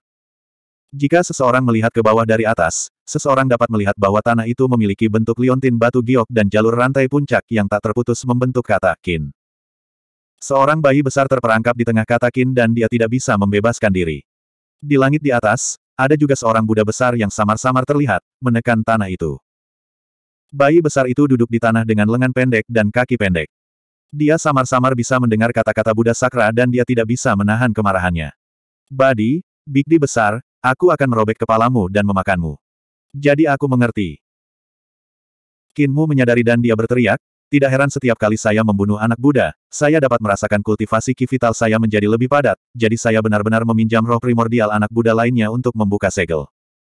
Ki vital yang meningkatkan kultivasi saya haruslah ki vital yang telah bocor darinya. Ketika dia bertarung beberapa ratus Buddha dengan pedangnya, dia sudah merasa ada yang salah. Pada saat itu, ki vitalnya selalu berada di puncaknya. Tidak hanya ki vitalnya tidak habis, bahkan ada peningkatan kecil. Kalau dipikir-pikir itu, ada kesadaran lain tentang Qin Fengqing yang bersembunyi di tubuhnya dan bersembunyi di balik gerbang pengaruh surga, menunggu putra-putra Buddha itu untuk mengirim arwah primordial mereka agar ia dapat berpesta. Pada saat itu, Qinmu selalu membuka gerbang sambil bertarung sehingga roh primordial putra-putra Buddha itu pasti jatuh ke mulut yang lain. Sepertinya aku tidak bisa membuka gerbang surga pengaruh secara serampangan, kalau tidak, aku tidak bisa mengendalikan diri jika aku membiarkan yang lain keluar.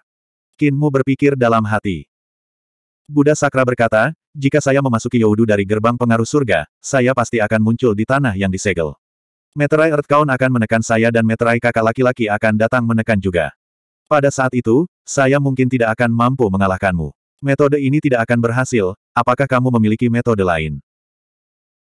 Kinmu merenung sejenak dan dia berkata, Aku bisa membangun jembatan pergeseran saling energi roh untuk terhubung dengan jembatan di surga kaisar tertinggi, membangun akses antara alam Buddha dan surga kaisar tertinggi. Dalam hal ini, kita dapat mencapai kaisar tertinggi surga dari alam Buddha dan juga menjaga keseimbangan energi dari dua dunia. Namun, untuk mencegah surga seling melacak jalan mereka ke surga kaisar tertinggi, kita perlu menghancurkan jembatan pergeseran saling energi-energi roh di surga sakra ketika kita berteleportasi. Mata Buddha Sakra menyala dan dia berkata sambil tersenyum, ini sederhana. Saya bisa meninggalkan seni surgawi yang bisa meledak setelah kita meninggalkan sakra surga, menghancurkan jembatan geser saling energi roh. Masih ada satu hal lagi. Kinmu menghitung dan berkata, adapun semua persamaan, operasi rune, dan struktur, saya punya salinan cadangan cetak biru di sini. Namun, Spirit Energy Mutual Shift Bridge adalah proyek besar dan saya tidak punya banyak materi pada saya, saya juga tidak memiliki tenaga kerja yang bisa memalsukan harta. Buddha Sakra berkata sambil tersenyum, Anda hanya perlu memberikan saya cetak biru, membangun itu tidak sulit bagi saya. Kinmu mengeluarkan kertas dan sikat. Saya akan membuat daftar bahan yang saya butuhkan terlebih dahulu, semoga Buddha pergi untuk menyiapkannya terlebih dahulu.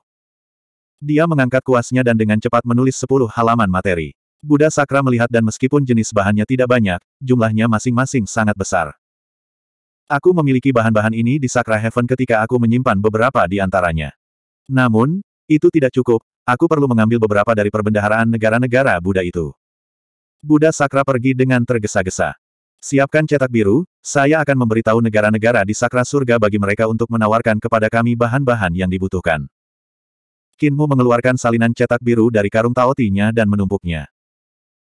Ini adalah kebiasaan baik yang telah ia kembangkan selama bertahun-tahun, untuk selalu suka menyiapkan satu set lebih banyak untuk semuanya.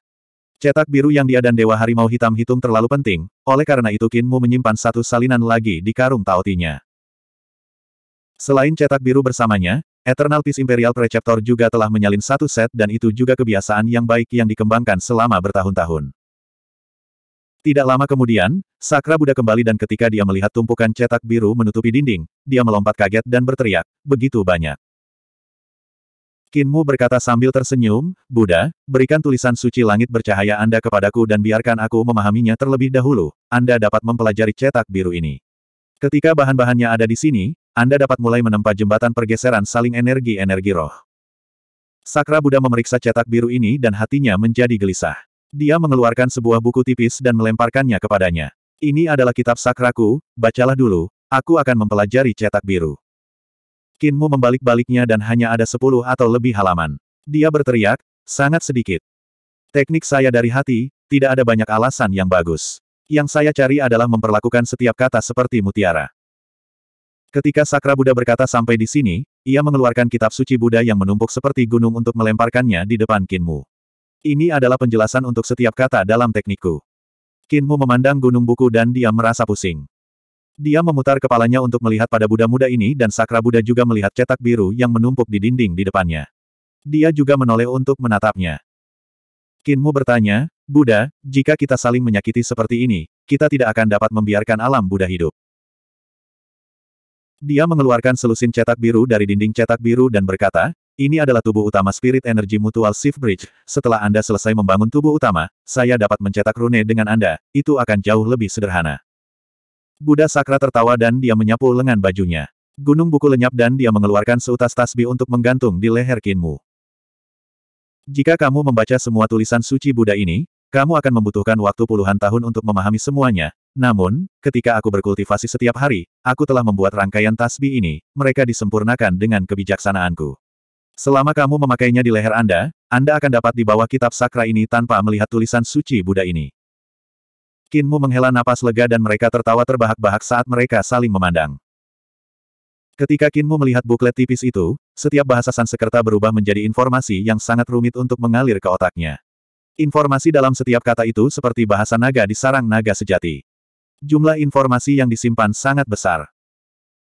Meskipun teknik dalam Sakra Scripture sedikit lebih rendah jika dibandingkan dengan teknik misteri tertinggi naga leluhur, itu masih luar biasa dan merupakan teknik yang sangat kuat.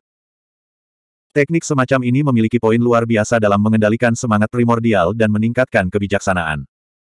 Dan teknik untuk pertempuran tubuh jasmani bahkan lebih luar biasa. Teknik misteri tertinggi naga leluhur adalah teknik di tahta kaisar dan kitab suci sakra adalah teknik langit bercahaya tetapi karena teknik misteri tertinggi naga leluhur adalah teknik untuk lomba naga, itu tidak banyak digunakan untuk kinmu. Namun, efek dari kitab sakra sangat luar biasa.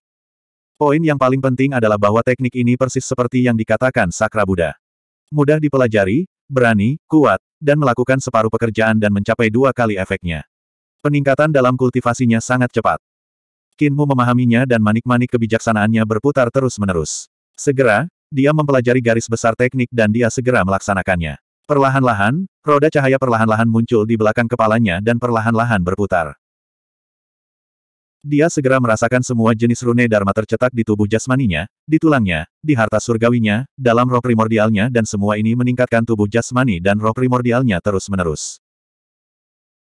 Lebih jauh lagi, Ketika menggabungkan teknik ini dengan delapan suara naga leluhur, itu bisa meningkatkan tubuh jasmani dan roh primordialnya bahkan lebih cepat dan bahkan lebih kuat. Poin yang bahkan lebih menakjubkan adalah bahwa ia dapat dengan jelas merasakan setiap pikirannya dan pikiran-pikiran yang mengganggu itu tampaknya telah menjadi manik-manik kecil yang terus mengalir dalam benaknya. Ini membuatnya bisa menilai dengan jelas antara yang baik dan yang buruk. Jika saya berkultivasi seperti ini, saya mungkin bisa menjadi Buddha dalam beberapa lusin tahun. Namun, saya tidak ingin menjadi seorang beku, saya hanya dapat mengambil referensi dari poin-poin berguna dari Sakra Scripture dan memasukkannya ke dalam Overload Body Tree Elixir teknik saya. Kinmu berpikir untuk dirinya sendiri. Setelah setengah hari, banyak negara Buddha di Sakra Heaven telah mengirim materi yang dibutuhkan untuk Spirit Energy Mutual Shift Bridge. Buddha Sakra mengulurkan tangannya untuk melambai dan banyak batu giok terbang ke langit. Mereka merapikan diri mereka di udara dan batu giok saling menumpuk untuk dengan cepat membangun altar skala besar. Buddha Sakra dengan cepat memalsukan komponen lain ke dalam bentuknya dan membentuk tubuh utama Spirit Energy Mutual Shift Bridge. Kinmu saat ini sedang meneliti bagaimana memasukkan bagaimana Sakra Scripture ke dalam Overload Body Tree Elixir teknik ketika dia melihat pemandangan ini secara tidak sengaja.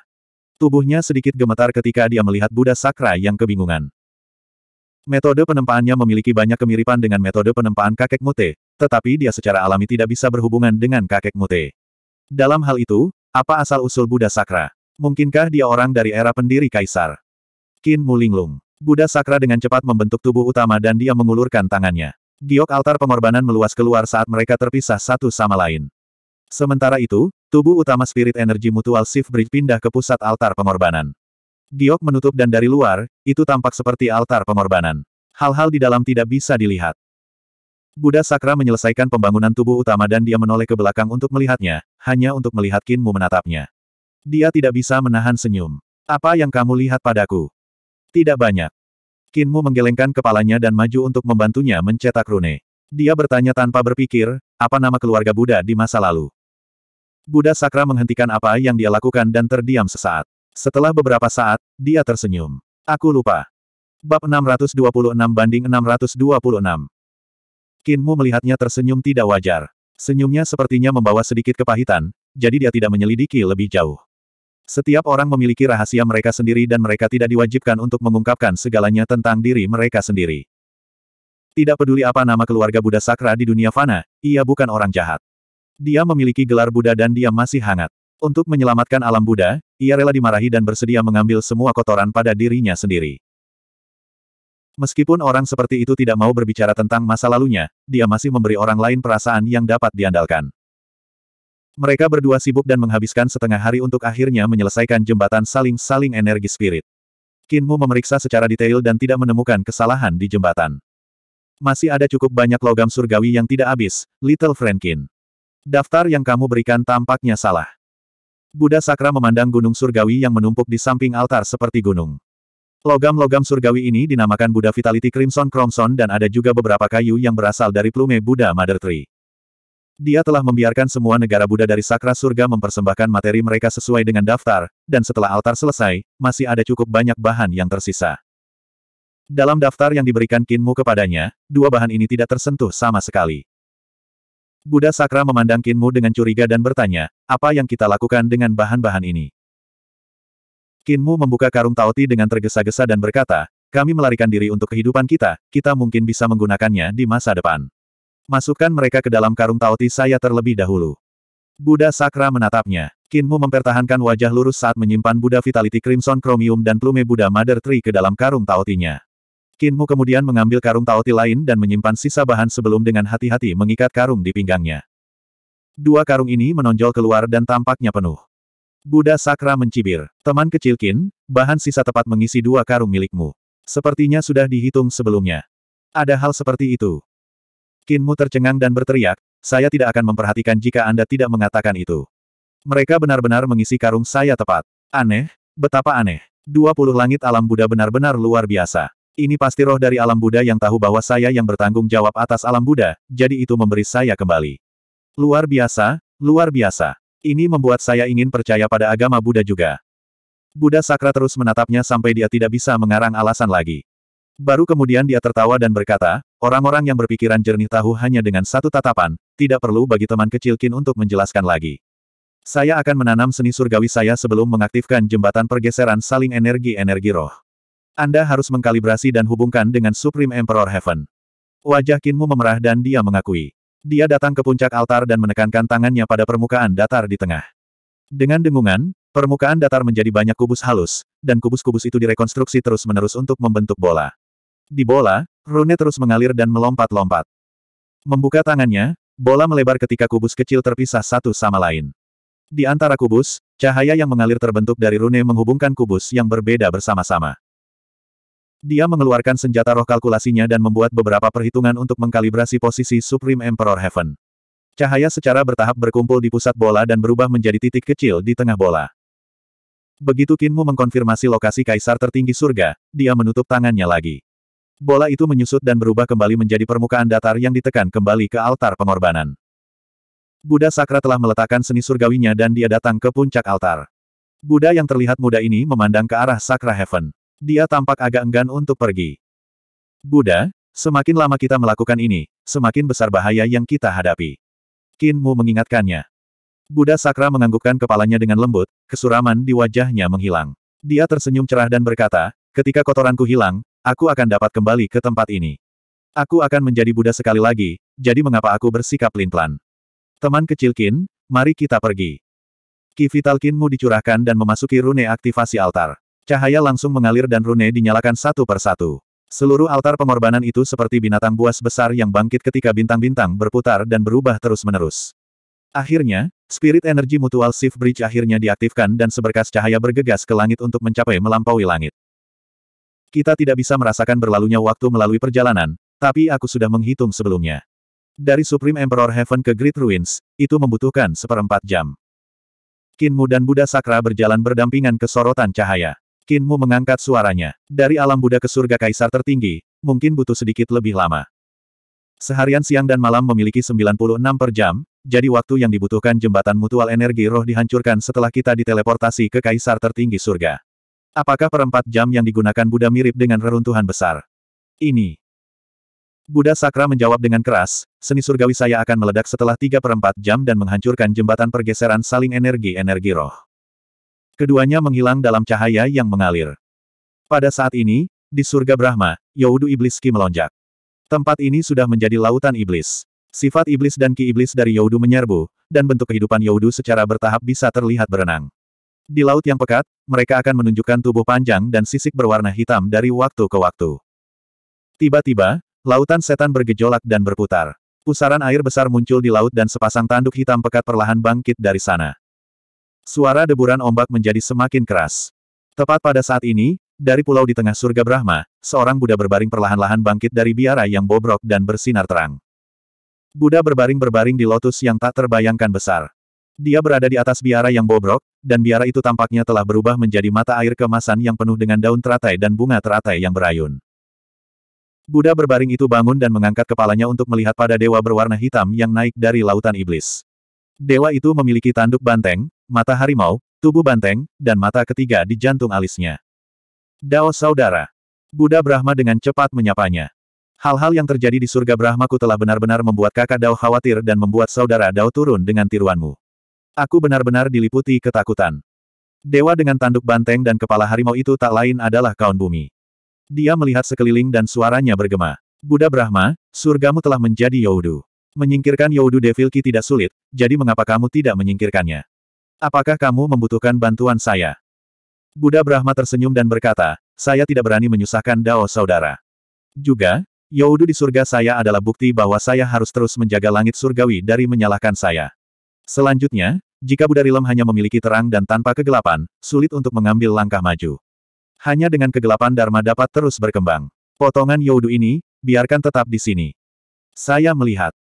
Kaun bumi mendengar kata-katanya, dan segera memahami sebab dan akibatnya. Aku tidak tegas dengan disiplinku, dan membiarkan anak Youdu datang dan membuat masalah di sini.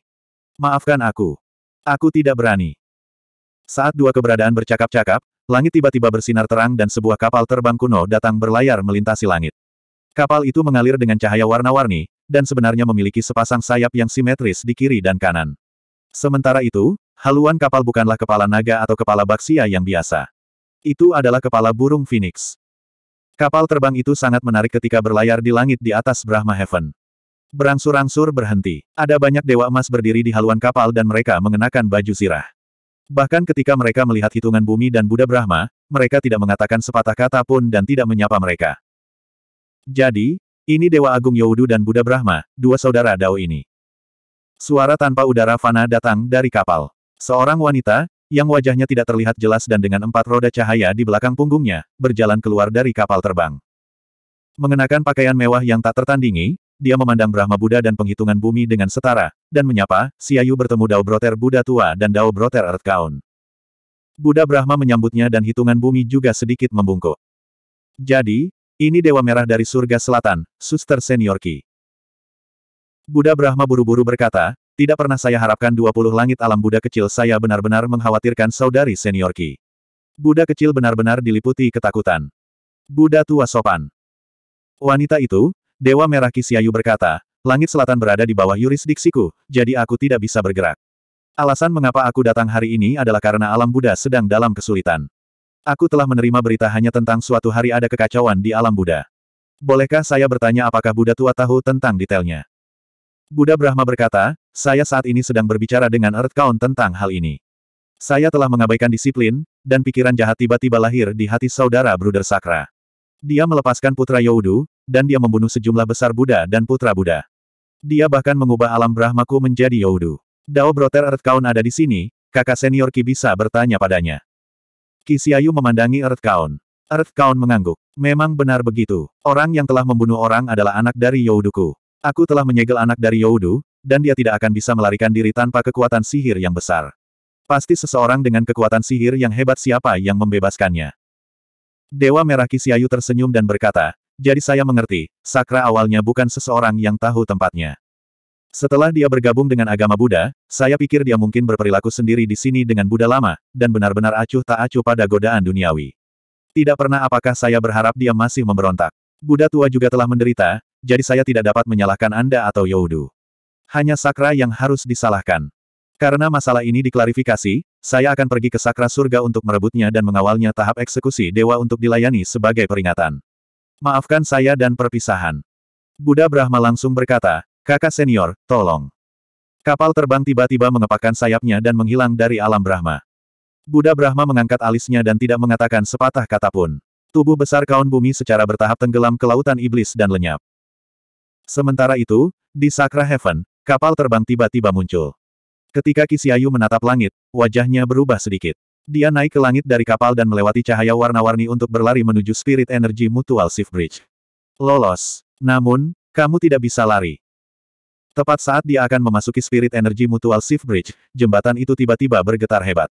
Seni surgawi yang ditinggalkan oleh Buddha Sakra meledak. Altar yang menyerupai gunung langsung melengkung dan runtuh ke dalam menuju pusat. Berpikir untuk pergi. Dewa Merah Kisiayu tiba-tiba berubah menjadi Phoenix pelangi berkepala sembilan dan mengejar cahaya yang akan menghilang di langit. Dia mencoba mengejar cahaya jembatan yang menghilang. Swoosh! Sosoknya lenyap dalam cahaya, tetapi terpental oleh ruang di detik berikutnya. Cahaya menghilang sepenuhnya. Ayo, kirim. Dia berteriak lembut dan kapal dengan sayap datang terbang. Kisiayu mendarat di kapal dan duduk. Dia mengambil sitar Phoenix dan meletakkannya secara horizontal di atas lututnya. Pencuri kecil telah melarikan diri selama era pendiri kaisar. Aku tidak akan membiarkanmu lari hari ini. Setelah mengatakan itu, dia membelai sitar dan memainkan nada. Irama sitar berubah menjadi zat fisik sebelum menghilang. Kisiayu memainkan nada sebelum bangkit sambil berkata, dia tidak akan bisa lepas dari catatan mencari sitarku. Jika dia bisa, dia layak dikagumi. Bab 627 Perjalanan dari alam Buddha ke Supreme Emperor Heaven bahkan lebih jauh dari apa yang telah dihitung Kinmu. Meskipun mereka tidak bisa merasakan berlalunya waktu melalui Spirit Energy Mutual Shift Bridge, mereka masih bisa merasakan getaran tiba-tiba dari cahaya yang mengalir dari Spirit Energy Mutual Shift Bridge. Ini membuat mereka berdua memiliki firasat buruk. Ini berarti mereka sudah melewati 3 per 4 jam di jembatan. Seni surgawi yang ditanam Buddha Sakra telah meletus dan menghancurkan jembatan. Ini juga berarti bahwa bahkan sebelum mereka mencapai Supreme Emperor Heaven, Spirit Energy Mutual Shift Bridge telah dihancurkan. Kinmu belum pernah mengalami situasi seperti ini sebelumnya dan dia langsung kehabisan ide. Apa yang akan terjadi jika jembatan saling-saling energi roh dihancurkan sebelumnya? Dalam cahaya yang mengalir, Sakra Buddha bertanya pada Kinmu dengan keras. Kinmu juga mengangkat suaranya. Kami akan segera tahu. Buddha Sakra langsung mengerti apa yang dia maksud dan mau tidak mau mengubah ekspresinya. Cahaya yang mengalir dari energi saling-saling geser mulai bergetar hebat. Itu adalah hasil dari energi yang saling bergeser yang mulai saling bertabrakan. Energi Spirit Mutual Shift Bridge membangun akses antara alam Buddha dan Supreme Emperor Heaven. Ketika Kinmu dan Buddha Sakra menuju surga kaisar tertinggi, harus ada juga sebagian energi dari surga kaisar tertinggi yang harus menuju alam Buddha untuk menyeimbangkan energi. Energi yang bergeser harus sama dengan energi yang terkandung dalam Kinmu dan Buddha Sakra. Sementara itu, di alam Buddha, jembatan saling-saling energi roh dihancurkan sebelum waktunya. Sebagai akibatnya, cahaya yang mengalir dari jembatan bertabrakan dengan energi yang sedang bergeser, menghasilkan getaran yang dahsyat. Di depan mata mereka, energi melintas dengan semua jenis warna, seolah-olah mereka telah memasuki dunia kaleidoskopik dan mereka mengalir dengan cepat di dalam. Tabrakan energi menyebabkan tubuh jasmani Kinmu merasakan gelombang rasa sakit yang menyengat. Jenis-jenis warna memanjang seperti potongan cahaya yang halus. Mereka membentuk banjir dengan sepuluh ribu jenis warna. Apakah mereka akan saling menghancurkan? Buddha Sakra bergumam ketika jantungnya berdebar. Dalam cahaya yang mengalir multiwarna, Kinmu mengeluarkan senjata roh perhitungannya dan mulai menghitung. Dia menggelengkan kepalanya dan berkata, mereka tidak akan musnah. Kaisar Agung Surga dan Alam Buddha sama-sama kehilangan sebagian energi, sehingga mereka masih akan membawa kita ke dunia yang dituju. Ini adalah satu-satunya cara untuk mempertahankan keseimbangan energi kedua dunia, jika tidak, mereka akan membawa getaran ke kedua dunia. Energi dari Supreme Emperor Heaven tepat di jalan yang sama seperti kita dan kita telah bertabrakan dengan sempurna. Tabrakan energi semacam ini tidak dapat dipertahankan melawan dengan seni surgawi. Jika seni surgawi digunakan melawan energi ini, momentum kita dan momentum gumpalan energi yang menuju alam Buddha ini akan dibatalkan. Apa yang terjadi jika mereka dibatalkan? Buddha Sakra bertanya. Kalau begitu, kita akan selamanya terjebak di sini antara dua dunia dengan segumpal energi ini. Kinmu menambahkan, kita tidak bisa maju dan kita tidak bisa mundur. Buddha Sakra bertanya dengan bingung, siapa yang mengajarimu teknik aljabar? Kemampuanmu tidak buruk. Kinmu terkena energi. Tubuh jasmaninya menjadi semakin menyakitkan. Dia menahan rasa sakit dan berkata, saya telah belajar kanon perhitungan dari misteri tertinggi dan kanon perhitungan dari wanita asli. Tidak heran, keledai keras kepala dari Dao Sekte adalah orang-orang yang luar biasa dan mereka semua memiliki hidung yang tinggi di udara. Mereka biasanya tidak memikirkan agama Buddha kita. Mereka pikir kita sedang mempelajari hati dan mengikuti semua yang ada di hati kita. Mereka berpikir Dao Sek mereka adalah yang mengendalikan Dao sejati dan agung alam semesta. Buddha Sakra berkata sambil tersenyum, namun, aljabar mereka benar-benar mendalam. Saya telah bertemu beberapa ahli Dao Sekte di tahun-tahun awal saya dan mereka tidak lebih lemah dari saya. Sementara mereka berbicara, tabrakan energi itu menjadi semakin ganas. Kinmu tidak bisa menahannya lebih lama lagi, tubuh jasmaninya bisa pecah kapan saja. Sinar Buddha yang lembut bersinar di sekitar tubuh Buddha Sakra dan membantunya memblokir sebagian tabrakan. Ini sebenarnya waktu terbaik untuk mengolah teknik saya sekarang. Dia tidak sepenuhnya melindungi Kinmu. Dia membiarkan sebagian energi menghantam tubuh Kinmu, hampir merobek kulitnya. Kinmu mendengar kata-katanya dan hatinya bergerak. Dia segera mencoba kitab suci sakra. Dia mengenakan manik-manik kebijaksanaan di lehernya dan melakukan teknik ini. Sinar Buddha yang samar terlihat langsung muncul di belakang kepalanya dan berayun dengan lembut. Semua jenis suara Buddha berubah menjadi rune aneh dan menyatu dengan tubuh jasmani dan roh primordialnya.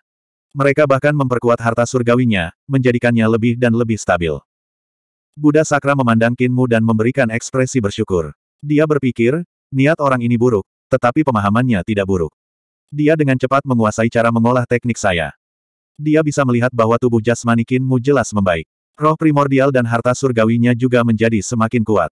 Ini berarti Kinmu memiliki sifat Buddha. Jika dia menginginkan putra Kin, aku ingin membawanya sebagai muridku. Dia belum pernah menerima murid sebelumnya. Ketika dia melihat pemahaman dan bakat Kinmu, dia tidak bisa membantu menghargai bakat. Tiba-tiba, ekspresi Buddha Sakra berubah hitam ketika ia segera melemparkan apresiasi ke belakang kepalanya. Kinmu saat ini sedang mengubah kitab suci Sakra dan memodifikasi tekniknya. Bagaimana mungkin seorang guru menghargai murid seperti itu yang menghancurkan pekerjaan guru dengan mengubah teknik begitu dia mempelajarinya? Sinar Buddha di belakang kepala Kinmu berangsur-angsur berubah. Mereka seperti para Buddha kecil yang tak tertandingi yang berkeliaran dalam roda cahaya. Suara Buddha juga memiliki suara naga yang meraung. Tidak lama kemudian, kitab suci sakra diubah berantakan oleh Kinmu. Tidak bisa dilihat bahwa itu adalah teknik Buddhisme. Yang membuat sakra Buddha semakin marah adalah bahwa tekniknya menjadi semakin tidak bisa dikenali. Dengan berlalunya waktu, tekniknya menjadi kurang dan kurang signifikan pada tubuh Kinmu. Pada akhirnya, tekniknya benar-benar menjadi bagian kecil dari teknik Kinmu. Untungnya, saya tidak menganggapnya sebagai murid saya. Jika dia, saya tidak akan bisa menahan diri dari memukulnya sampai mati. Buddha Sakra menghela napas gemetar saat dia berpikir sendiri. Energi semacam ini datang menimpa gelombang demi gelombang. Ketika sampai di belakang, dampak energi itu begitu besar sehingga bahkan Sakra Buddha merasa agak sulit untuk bertahan. Tabrakan energi tidak bisa dipertahankan terhadap penggunaan seni surgawi. Jika energi spirit energi mutual shift bridge berhenti mengalir, mereka juga tidak bisa memasuki Supreme Emperor Heaven. Dia hanya bisa menahannya dengan tubuh jasmaninya, sehingga dia sangat dirugikan. Tabrakan terakhir bahkan menyebabkan tubuh jasmani Buddha Sakra terpecah. Kulitnya terus-menerus pecah seolah-olah mereka dibakar menjadi abu. Mereka terhapus dan kulit baru akan cepat tumbuh lurus sesudahnya. Jelas bahwa tubuhnya yang jasmani telah dibudidayakan sampai batas yang tak terbayangkan. Meski begitu, dia masih mencoba yang terbaik untuk melindungi Kinmu dan tidak membiarkannya rusak dalam gelombang energi yang hebat. Pada saat yang sama, dia bahkan membiarkan sebagian energi lewat untuk mengenai tubuh Kinmu, memberikan tekanan pada Kinmu dan memaksanya tumbuh di bawah tekanan. Akhirnya, gelombang terakhir berakhir dan Sakra Buddha menghela nafas lega. Dia berhenti melindungi Kinmu. Tepat pada saat ini, suara samar-samar dari sitar datang dan ekspresi Sakra Buddha sedikit berubah. Dia buru-buru berbalik untuk melihat dan melihat bahwa energi yang telah berlalu tiba-tiba terbelah, membelah menjadi permukaan halus dan tipis yang tak terhitung jumlahnya. Suara sitar secara bertahap menjadi jelas dan ruang itu bergetar terus-menerus. Energi yang bergeser saling memberikan semua jenis warna, menjadi berurutan. Energi bergetar terus-menerus dan sepertinya berubah menjadi catatan lompatan. Ruang-ruang tipis yang melompat-lompat berubah menjadi Phoenix berkepala sembilan yang semakin jauh dari mereka. Selanjutnya, Phoenix berkepala sembilan tiba-tiba mengalami nirwana dan berubah menjadi api yang menyala-nyala, menghapus energi yang ada di ruang angkasa. Dewa Merah Surga Selatan Kisiayu Ekspresi Sakra Buddha berubah drastis dan dia berteriak, orang yang mengejar kita adalah wanita kejam ini. Kita sudah selesai. Tanpa penjelasan, dia menyapu Kinmu dan buru-buru melarikan diri ke depan. Kinmu terbangun dari kultivasinya dan dia segera berkata, Buddha, jangan terbang sendiri, kita akan menyimpang dari jalan menuju surga kaisar tertinggi. Buddha Sakra berteriak, seni surgawi dari seorang praktisi yang kuat di tahta kaisar ada tepat di belakang kita. Ini akan segera menyusul dan jika kita tidak berlari, kita akan mati dengan menyedihkan. Praktisi yang kuat di tahta kaisar. Kinmu melompat kaget, kepalanya menjadi kosong. Orang yang mengejarku begitu kuat. Aku hanya sosok kecil yang ada di ranah Seven Stars. Apakah ada kebutuhan untuk orang sekuat itu? Dia tidak datang untukmu, dia datang untukku. Buddha Sakra mengertakkan gigi dan sinar Budanya menyapu Kinmu dan membawanya berlari kencang dengan semua kekuatannya. Tubuhnya benar-benar berubah menjadi jejak sinar Buddha yang terbang dengan cepat. Aku punya dendam dengan wanita ini selama era pendiri kaisar. Dia pasti telah mendengar bahwa aku telah menciptakan masalah, jadi dia mengambil inisiatif untuk menemukan aku dan membalas dendam. Suara sitar datang dari belakang dan ini adalah zona vakum antara kaisar tertinggi surga dan alam Buddha. Tidak ada suara yang dapat melakukan perjalanan melalui ruang hampa, namun seni Dewa Merah Kisyayu bepergian dengan mengiris ruang. Kecepatannya sangat cepat, sangat cepat sehingga tak terbayangkan. Kinmu berbalik untuk melihat dan dia melihat ruang di belakang mereka berubah dan bergerak naik dan turun. Ruang akan terpisah dari waktu ke waktu, saling tumpang tindih dari waktu ke waktu, dan bahkan menjadi bentuk pilar dari waktu ke waktu. Panjang pilar yang diubah dari ruang angkasa juga akan mengubah ketinggiannya tanpa henti.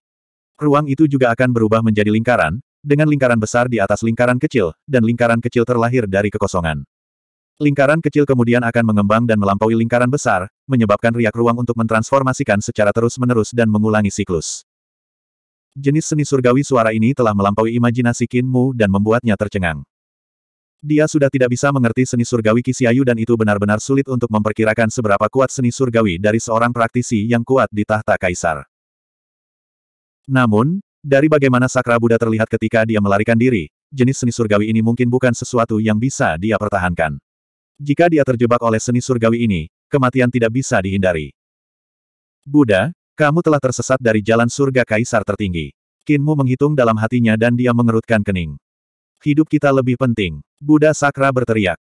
Kinmu tidak berbicara lagi dan membiarkan Sakra Buddha membawanya. Dia tidak bisa tidak khawatir dalam hatinya. Buddha telah menyimpang dari jalan. Jika kita terus berlari, kita hanya akan semakin jauh dari Supreme Emperor Heaven.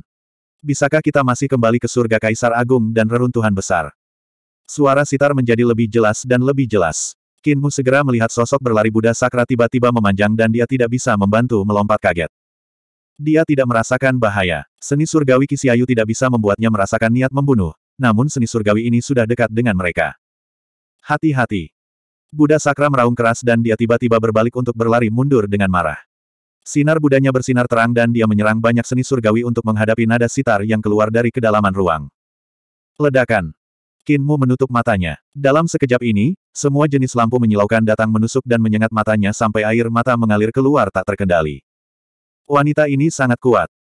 Suara sakra Buddha terdengar di samping telinganya dan Kinmu bisa merasakan darah mengalir di lehernya. Dia kaget. Buddha sakra sebenarnya memuntahkan vulgaritas.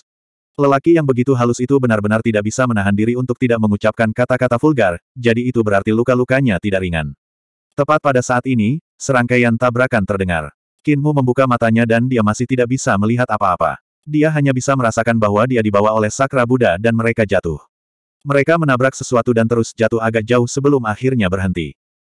Kinmu diam-diam membuka daun willow emas dan melihat sekeliling. Dia sedikit terpana. Tempat ini. Di belakangnya, Buddha Sakra yang selalu melindunginya runtuh di punggungnya. Napasnya samar dan dia berkata dengan suara serak, surga kedua kaisar pendiri surgawi. Tumpukan kotoran ini jauh lebih berbau daripada yang saya bayangkan. Work. Dia muntah seteguk darah. Bab 628. Surga kedua kaisar pendiri surgawi-surgawi. Kinmu melihat sekeliling dan melihat reruntuhan di mana-mana. Ada tembok dan istana kota yang runtuh, kota-kota terbang yang rusak di langit, gunung dan sungai yang usang, serta kerangka yang menutupi tanah. Gunung-gunung besar di kejauhan juga rusak parah. Puncak gunung seperti tongkil jagung yang digerogoti berantakan. Bahkan seonggok inti besar digigit dan membuat gunung-gunung itu terlihat seperti jatuh setiap saat. Tanah yang telah membelah semua ditutupi dengan gunung berapi dan lava. Sungai adalah darah yang mengalir di darat, darah di sini sebenarnya adalah sungai besar lava. Ada potongan-potongan aneh bintang pecah dan awan berbentuk aneh di langit. Awan itu harus menjadi jejak yang ditinggalkan oleh seni surgawi. Ketika Kinmu menginjak tanah, dia memperhatikan bahwa bumi telah benar-benar mengeras. Tidak ada tanaman yang bisa tumbuh di sini. Tiba-tiba, hembusan bertiup dan dia melihat pemandangan yang tak terlupakan. Tulang banyak orang telah berubah menjadi gumpalan tulang ketika mereka tersapu oleh angin, berguling-guling di depannya. Sesaat kemudian, banyak bola tulang putih besar berjatuhan di depannya secara acak ketika mereka tertiup angin.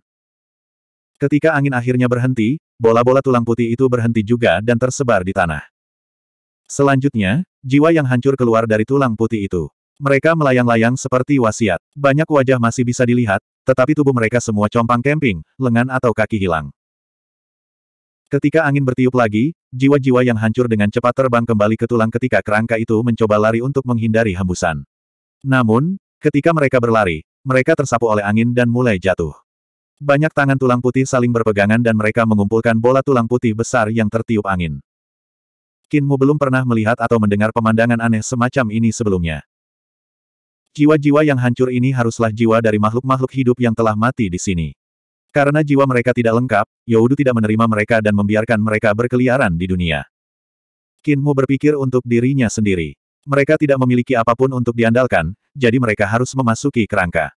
Hanya dengan memasuki kerangka mereka bisa merasakan mereka masih hidup. Aku pikir aku akan mati. Di belakangnya, napas Buddha Sakra lemah ketika dia berkata dengan nada jompo. Dewa Merah Langit Selatan kemampuan Kisiayu terlalu tinggi.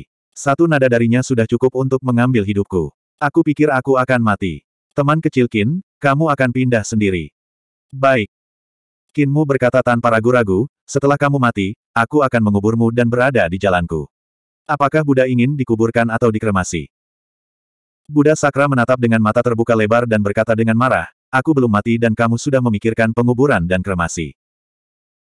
Kinmu berkata sambil tersenyum, meskipun aku sudah lama tidak mengembangkan kitab suci sakra, aku tahu betapa kuatnya teknik ini.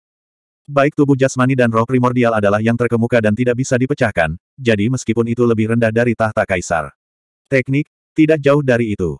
Buddha telah berkultivasi selama bertahun-tahun, jadi bagaimana Anda bisa dibunuh dengan satu nada? Buddha Sakra mengedipkan matanya, wajahnya paling pucat saat dia berkata, untuk melindungimu, Aku tidak punya pilihan selain mengambil sitar merah Dewa Kisiayu secara langsung. Kekuatan hidupku sudah hancur. Seni merah Dewa Kisiayu telah melintasi ruang dan datang mengejar, jadi itu sudah menghapus energi yang bergeser saling.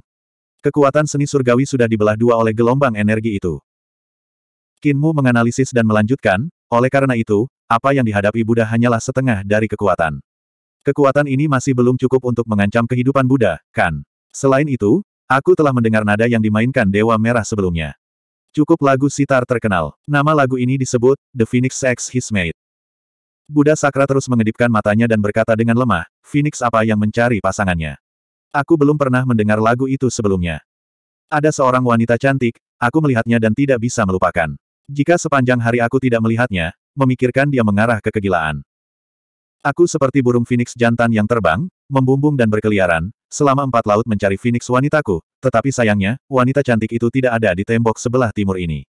Mengambil Kin sebagai pengganti kata-kata, aku bermaksud melepaskan beban perasaan-perasaan sejati ini. Pada hari apa aku akan melihat penerimaanmu akan pertunangan, dan meringankan kegelisahan gelisah saya. Kinmu bernyanyi dengan keras, tangannya membelai di udara. Meskipun tidak ada sitar atau senar di bawah tangannya, Ki vitalnya berubah menjadi senar sitar dan mengeluarkan catatan yang sama dengan nada Dewa Merah yang digunakan Ki Xiaoyu untuk mengejar mereka. Pemuda itu membelai sitarnya dan bernyanyi dengan keras, meninggalkan semua pengekangan. Petik 2. Bagaimana kita dapat menjalin leher kita seperti bebek Mandarin? Bagaimana kita bisa berkeliaran, dan bersama-sama melambung? Lady Phoenix, Lady Phoenix, ikut dengan saya dan sarang, didukung, berkembang biak bersama saya, selamanya menjadi istri saya. Saling bertukar kasih sayang dengan cara fisik akan menyelaraskan hati kita, pada tengah malam jika Anda mengikuti saya siapa yang akan tahu. Sayap kita bersama akan naik, berkibar setinggi kita terbang. Jika Anda tidak tergerak oleh perasaan saya, itu akan menyebabkan saya menderita. Nada sitar mengelilingi mereka berdua dan berlama-lama untuk waktu yang sangat lama. Banyak kerangka tertarik oleh suara sitar dan lagunya. Mereka mengepung mereka dan mendengarkan dengan penuh perhatian. Beberapa kerangka bahkan mulai menari mengikuti lagunya. Kinmu menyebarkan ki vitalnya dan berkata, Phoenix mencari pasangannya ditulis oleh seorang pria untuk seorang wanita. Liriknya adalah tentang seorang pria membujuk seorang wanita untuk kawin lari dengannya. Mereka memiliki satu malam berdiri di masa lalu, dan pria ingin wanita ini mengingat afinitas cinta ini dengan sayang, meninggalkan segalanya untuk pergi bersamanya. Buddha Sakra terdiam. Dia tiba-tiba duduk dan menepuk kotoran di tubuhnya. Dia melambaikan tangannya untuk mengusir kerangka yang menguping di samping. Apa yang kalian lihat? Apa yang harus dilihat? Pergi, pergi. Teman kecil Qin, pendiri Kaisar Langit Surgawi memiliki total 33 surga. Supreme Emperor Heaven adalah surga pertama. Ini adalah surga kedua, surga kecerahan tertinggi. 33 surga sebenarnya terhubung satu sama lain. Sekarang kita berada di surga kecerahan tertinggi, kita tidak jauh dari surga kaisar tertinggi. Seolah tidak mendengarnya, Kinmu terus berkata, saya belajar lagu ini dari kakek tuli di desa saya sebelumnya. Kakek tuli adalah salah satu yang terbaik dalam hal pengetahuan di desa saya, jadi apa yang diajarkan kepada saya tidak akan pernah salah. Namun, Dewa Merah Kisyayu harus seorang wanita, kan? Lagu ini ditulis oleh seorang pria, jadi agak aneh baginya untuk menjadi orang yang memainkan lagu. Di atas semua itu, tampaknya ada yang jelas dendam pada nada miliknya. Ini sepertinya tidak digunakan untuk membunuh orang. Sebaliknya, itu digunakan untuk mencemooh orang yang telah menulis lagu ini. Semua luka di tubuh Buddha Sakra tiba-tiba sembuh. Dia maju selangkah dan berkata, jika kita terus berjalan ke surga Bright Brightness, itu akan menjadi surga Bright Bright. Jika kita naik lagi, itu akan menjadi surga embrio gelap.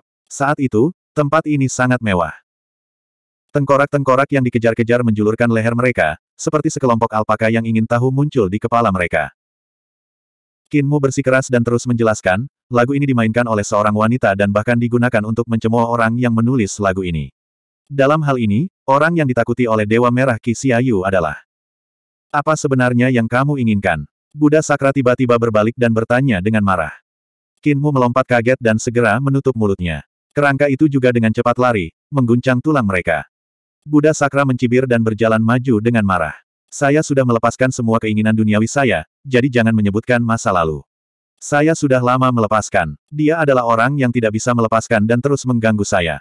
Dia mendapatkan informasi yang dapat digunakan untuk melawan saya dan telah datang untuk membunuh saya langsung. Apakah ini salah saya? Kinmu menahan senyumnya dan mengikuti di belakangnya. Buddha Sakra mencibir dan berkata, dia jelas adalah orang yang berpikiran sempit, saya tidak dapat disalahkan. Ketika saya belum memasuki agama Buddha di tahun-tahun awal saya, saya memiliki periode romantis. Saya pikir saya bisa hidup bersama dengan dia, dan lupakan perkelahian antara surga celestial dan kaisar pendiri surgawi. Bagaimana saya bisa membantu ketika dia enggan menyerahkan posisinya dan pergi dengan saya? Ketika kami bertemu di medan perang, berapa saudara dan saudari saya yang memiliki dia membunuh? Wanita yang kejam. Karena itulah aku memutuskan hubungan dengan dia. Kinmu mengusir kerangka yang terbakar dengan rasa ingin tahu saat Sakra Buddha menghela nafas. Alasan mengapa reaksi langit surgawi begitu cepat adalah karena dia masih menyimpan dendam padaku dan mengira aku mengkhianatinya. Jika seni surgawinya telah membunuhku sekarang, tidak apa-apa. Dia tidak akan mengejarku lagi namun, karena dia tidak membunuhku, ini berarti dia pasti akan mengejar. Kecepatannya tidak ada bandingannya, jadi aku tidak bisa melarikan diri denganmu. Itulah sebabnya aku bertingkah seolah-olah lukaku terlalu parah, untuk membiarkanmu pergi tanpa aku. Namun kamu hanya harus merobek kebohonganku, teman kecil Qin. Kadang-kadang, tidak terlalu bagus untuk menjadi terlalu pintar. Qinmu terdiam sejenak dan bertanya, bisakah Anda melarikan diri dari pengejaran Dewa Merah? Buddha Sakra menggelengkan kepalanya dan berkata, kapalnya dapat melakukan perjalanan melalui dunia tanpa batas. Keuntungannya dalam kecepatan adalah nomor satu di dunia, bagaimana saya melarikan diri? Saya berencana untuk pergi ke arah yang berlawanan dan melewati 33 surga para Founding Emperor untuk disembunyikan. Dia akan mundur jika dia tidak dapat menemukan saya. Saya tidak bisa membawa Anda bersama saya, Anda pasti akan mati. Beberapa kapal dapat melakukan perjalanan melalui semua dunia dan Kinmu telah melihat kapal semacam ini sebelumnya. Paramita Ark yang dibuat oleh Heavenly Works Gatrache adalah salah satu dari kapal-kapal itu. Juga, kapal milik ayahnya, Qin Hansen, adalah kapal semacam itu juga, kapal itu telah berlayar dari dunia lain ke langit di atas reruntuhan besar. Sebagai Dewa Merah dari surga selatan, tidak mengherankan memiliki kapal seperti itu. Kinmu mengangguk pelan dan berkata, membawa saya juga akan membebani Anda. Buddha, mari kita berpisah di sini. Buddha Sakra mengangguk sebagai balasan dan berkata, dia akan mencapai tempat ini segera. Saya harus meninggalkan Anda sesegera mungkin. Apakah Anda memiliki cara untuk kembali ke surga kaisar tertinggi? Kinmu berkata sambil tersenyum, paling-paling, saya hanya akan membangun jembatan pergeseran saling energi spiritual lainnya. Saya lebih khawatir tentang Anda. Kecepatan Buddha Sakra meningkat dan dia menunjuk ke timur. Suaranya bergerak lebih jauh bersamanya. Jika kamu menuju ke sana, kamu seharusnya bisa menemukan jalan menuju Supreme Emperor Heaven. Sosoknya dengan cepat pergi ke kejauhan dan secara bertahap menghilang. Kinmu membuka matanya dan merasakan bahwa penglihatannya mulai pulih. Dia menempelkan daun willow kemasan di mata ketiga. Ketika dia mengungkapkan mata ketiganya, dia tidak berani mengeksekusi Overload Body Tree Elixir teknik, jadi yang terbaik adalah dia menempelkannya pada waktu normal. Dia berjalan ke arah timur dan melihat tempat itu sepi. Tidak ada bentuk kehidupan yang bisa dilihat dan ada banyak bola tulang putih yang meledak di mana-mana. Setiap kali angin berhenti, kerangka-kerangka itu mengikutinya seperti alpaka yang penasaran. Yang lebih berani bahkan menyentuh pakaiannya dan mencubit pipinya. Kinmu mengabaikan roh-roh ini saat dia menuju ke timur. Tiba-tiba, dia mendengar sitar datang dari langit. Itu adalah lagu The Phoenix X His Mate. Meskipun itu adalah lagu pacaran dan cinta, itu membawa kesedihan dan kebencian. Langit suram tiba-tiba menjadi cerah ketika sebuah kapal yang tumbuh sepasang sayap Phoenix datang berlayar dari dunia lain. Itu muncul di langit surga kecerahan tertinggi. Nada sitar datang dari kapal itu. Kinmu cukup terpesona oleh musik. Pada saat ini, kesadaran yang mengerikan datang menyapu ke segala arah. Itu menyebar di sepanjang tanah terpencil, mengalir di surga kecerahan tertinggi seperti banjir. Ketika gelombang kesadaran ini menyapu melewati tubuh Kinmu, itu berhenti sebentar sebelum membanjiri dirinya. Itu tidak meletakkan tangannya di Kinmu. Kapal mengepakkan sepasang sayap Phoenix dan pergi dengan busur indah melintasi langit. Mereka tidak mengejar Kinmu dan pergi ke arah di mana Sakra Buddha pergi. Dewa Merah Kisiayu tidak peduli tentang menjatuhkan Kinmu. Dia hanya tertarik pada Buddha Sakra. Cerita apa yang dimiliki oleh Buddha Sakra? Mungkin mereka adalah tokoh utama dari kisah mereka sendiri. Kinmu melihat kapal terbang itu berlayar. Setelah menenangkan hatinya, dia memperbaiki tekniknya dan terus menuju ke timur. Harta surgawi dari jalan iblis muncul di belakangnya dan ia mencoba untuk menggabungkan harta surgawi tujuh bintang dengan enam arah harta surgawi menjadi satu. Setelah berjalan selama beberapa waktu, dia masih tidak bisa melihat akhir dari surga kecerahan tertinggi. Tiba-tiba, Kinmu berhenti berjalan. Dia melihat kota Dewa Agung yang berdiri tegak di sana. Kota Dewa ini penuh dengan orang. Ada dewa-dewa yang berdiri di tempat tinggi, tampak waspada di sekitarnya. Tubuh Kinmu gemetar sedikit saat dia memeriksa sekitarnya. Surga kecerahan agung yang bobrok telah menghilang dan yang menggantikannya adalah surga kecerahan tertinggi yang belum jatuh di bawah perang. Kinmu melihat medan di sekitarnya dan pikirannya hancur. Dengan gunung-gunung yang telah runtuh berdiri lagi, dan kota dewa yang telah dihancurkan muncul kembali dengan segar, medan di sini sebenarnya sama dengan yang ada di salah satu peta yang ditinggalkan oleh Tuan Pendeta Sekte Suci yang ditinggalkan. Dan apa yang ditunjukkan oleh peta itu adalah kota dewa ini. Kakak senior-senior adalah orang yang ada setelah Founding Emperor era telah berakhir, jadi dia tidak bisa menggambar medan sebelum Founding Emperor era dihancurkan. Dia tidak bisa menunjukkan kota dewa ini yang sudah tidak ada lagi. Itu tidak benar, ada sesuatu yang salah. Pikiran Kinmu sedang kebingungan. Bab 629 Sein Woodcutter menyebutkan bahwa beberapa tempat dalam peta kakak senior itu sangat berbahaya. Bahkan dia tidak akan berani masuk dengan ceroboh. Apakah kota Dewa Surga Kecerahan tertinggi itu salah satu tempat berbahaya itu? Tatapan Kinmu berkedip. Dia berpikir berulang kali. Dia akhirnya memutuskan untuk tidak memasuki kota dewa dan hanya berjalan-jalan dari samping. Sambil berjalan di sisi kota dewa, dia melihat sosok dari sudut matanya. Dia segera berhenti mati di jalurnya. Buddha Sakra. Kinmu benar-benar berteriak keheranan. Dia melihat Buddha Sakra lain, atau lebih jelasnya, dia melihat Buddha Sakra dari era pendiri Kaisar.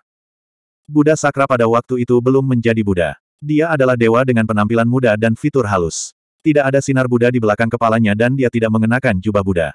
Dia juga tidak bertelanjang kaki. Dia mengenakan sepasang sepatu bersayap emas di kakinya dan tubuhnya ditutupi dengan baju besi emas. Pada saat itu, Buddha Sakra bukanlah seorang Buddha, ia adalah dewa dengan posisi tinggi. Kinmu tertegun.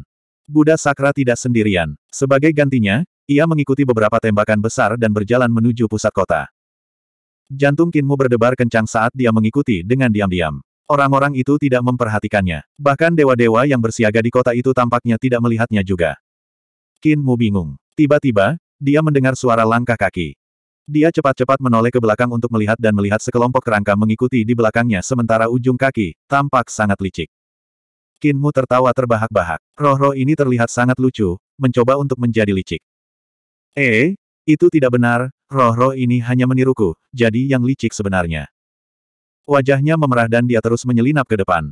Dia datang ke sisi Sakra Buddha dan mencoba meraih pakaiannya. Namun, dia tidak meraih apa pun. Telapak tangannya hanya melewati pakaian Sakra Buddha, tidak menyentuh substansi fisik apa pun. Kinmu heran sekali lagi. Dia mengayunkan tangannya lebar-lebar. Kali ini, telapak tangannya melewati tubuh Buddha Sakra, tetapi dia masih tidak menyentuh apa pun. Kota dewa ini dan para dewa ini tidak nyata. Qin Mulinglung. Mungkinkah ini gema sejarah? Gema sejarah adalah sosok dan suara seorang praktisi yang kuat dicetak di ruang angkasa. Itu hanya akan ditampilkan setelah disentuh. Angka-angka lemah tidak akan dicetak. Namun, ada seluruh kota di sini dan ada banyak rakyat jelata. Jelas ini bukan gema sejarah. Dan karena dia tidak bisa menyentuh manusia dan dewa di kota ini, ini berarti dia tidak kembali ke masa lalu. Kalau begitu, ada apa dengan kota dewa ini? Buddha Sakra dan orang-orang itu berjalan ketika mereka berbicara. Melihat sikap Buddha Sakra, orang-orang ini semua haruslah eksistensi yang luar biasa, dan posisi mereka mungkin bahkan di atas Buddha Sakra. Kinmu pergi di depan mereka untuk memperhatikan orang-orang ini, tetapi ketika dia melihat wajah mereka, dia tertegun. Wajah orang-orang ini sebenarnya kosong. Setiap wajah tidak memiliki mata, telinga, mulut, atau hidung. Itu seperti selembar kertas terpampang di wajah mereka. Tengkorak itu mengikutinya dan berputar ke depan juga. Semua rahang mereka jatuh ke tanah dan terbukti bahwa mereka juga terkejut. Suara mendesing. Buddha Sakra dan yang lainnya melewati tubuh Kinmu. Dia linglung. Dia tidak bisa merasakan apa pun melewati tubuhnya. Dia mengulurkan tangannya dan meraihnya, tetapi dia tidak bisa meraih siapa pun. Kerangka itu bingung ketika mereka meraba-raba tanah untuk menemukan rahang yang jatuh. Ketika para dewa melewati mereka, mereka juga menggigil dan jatuh ke tanah, tidak berani bergerak. Roh di salah satu kerangka itu harus lebih lengkap karena mengeluarkan suara tangisan. Hantu. Kinmu berjalan di sekitar kerangka ini dan menangkap tokoh-tokoh itu sambil berpikir untuk dirinya sendiri, kerangka ini tidak meniru saya sekarang. Saya tidak takut dan tidak jatuh ke tanah. Buddha Sakra saat ini sedang berbicara dengan beberapa orang itu. Suaranya sangat lemah dan hampir mustahil untuk mendengarnya. Namun, secara bertahap, suara itu menjadi lebih keras dan lebih jelas. Kinmu mendengarkannya dengan cermat. Dia hanya mendengar suara sosok berwajah yang terlihat paling terhormat di grup. Petik 2. Sebelum era kita, masih ada beberapa era. Aku pernah mencari puing-puing era ini, mencoba mencari asal-usul musuh, ingin melihat siapa yang kemudian menjadi musuh kita. Aku pergi ke Youdu dan bertanya pada Bumi Kaun. Saya juga bertemu dengan Duke Surga yang saat ini sedang mengamati operasi miliaran bintang. Banyak dewa pra-celestial bintang-bintang juga telah dikunjungi oleh saya. Bicara soal itu, ini menarik. Saya menemukan beberapa hal yang berguna, tapi musuh kita tidak seperti yang kita bayangkan. Langit Surgawi. Kinmu bergerak maju untuk mendengarkan dan suara itu menjadi lebih lembut lagi. Sebelum memikirkan kemenangan, kita harus memikirkan kekalahan terlebih dahulu. Sakra, aku ingin kamu membantuku melakukan sesuatu. Kumpulkan semua pengrajin terampil di dunia dan tempat-tempat di mana kita bisa bertahan hidup bahkan setelah kita dikalahkan.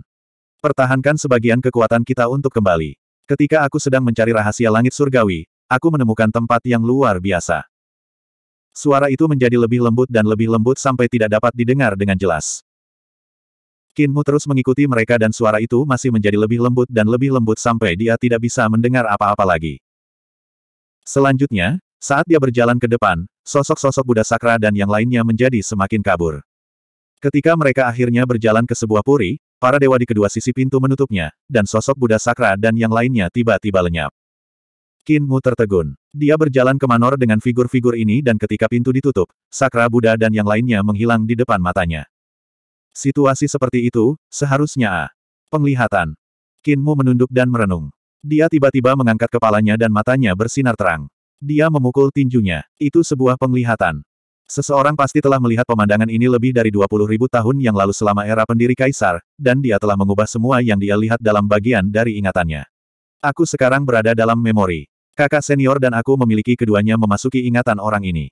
Memori adalah apa yang diproyeksikan dalam pikiran dari apa yang dilihatnya, dan orang yang melihat pemandangan ini belum masuk ke istana. Oleh karena itu, tokoh-tokoh Buddha Sakra dan yang lainnya akan lenyap setelah memasuki rumah. Dia melewati pintu dan keluar untuk mencari dengan pandangannya. Dia tidak melihat wajah dari beberapa eksistensi itu, jadi ini berarti kemampuan dari beberapa eksistensi itu terlalu kuat. Wajah mereka seharusnya ditutupi oleh cahaya surgawi mereka sendiri, jadi orang ini tidak bisa melihat wajah mereka dengan jelas. Semua orang dalam ingatannya tidak memiliki wajah. Dalam hal itu, di mana dia melihat pemandangan seperti itu? Kinmu berjalan kembali ke jalan tempat dia berasal dan berpikir untuk dirinya sendiri, orang ini harus memiliki penampilan yang aneh.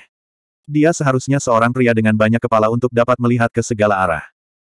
Ada banyak dewa dan banyak orang berjalan ke sana kemari di kota. Sangat sulit untuk menentukan ingatan dewa yang mana. Kota dewa ini harus menjadi tempat yang sangat penting di surga kaisar tertinggi. Jumlah dewa tidak bisa dipercaya, dan banyak dari mereka telah mengembangkan bentuk roh purba yang aneh dan beraneka ragam. Bentuk roh primordial dari empat tubuh roh besar di Great Ruins dapat dilihat di mana-mana di sini. Dewa dengan kepala manusia dan tubuh ular bahkan dapat dilihat, dan ada juga dewa dengan kepala burung dan tubuh manusia atau kepala manusia dan tubuh burung. Mereka memiliki semua bentuk. Dewa dengan banyak kepala juga tidak jarang sama sekali. Kinmu melihat sekeliling dan dewa akan melewati tubuhnya dari waktu ke waktu, namun dia tidak pernah bisa menemukan orang ini yang telah melihat pemandangan ini. Seluruh kota dewa pada dasarnya diciptakan kembali melalui ingatan, jadi dalam hal ini, orang ini pasti berdiri di tempat yang tinggi. Hanya di tempat yang tinggi seseorang dapat melihat seluruh kota dan menanamkannya di kepalanya.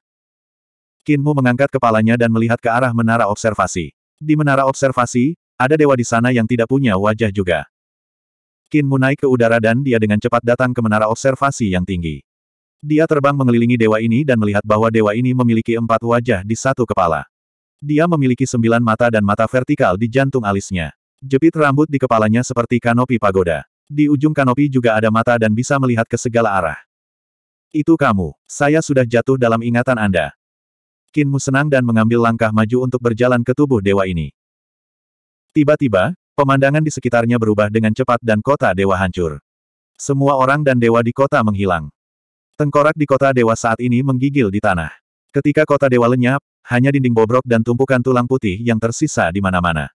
Tengkorak-tengkorak ini ketakutan karena akalnya dan mereka berlari secara acak seperti ayam tanpa kepala. Di mana menara observasi seharusnya berdiri semula, ada lubang yang dalam. Satu kerangka tidak bisa menstabilkan kakinya lagi dan jatuh, memberikan jeritan panjang. Kinmu mencoba melangkah di udara dan tercengang.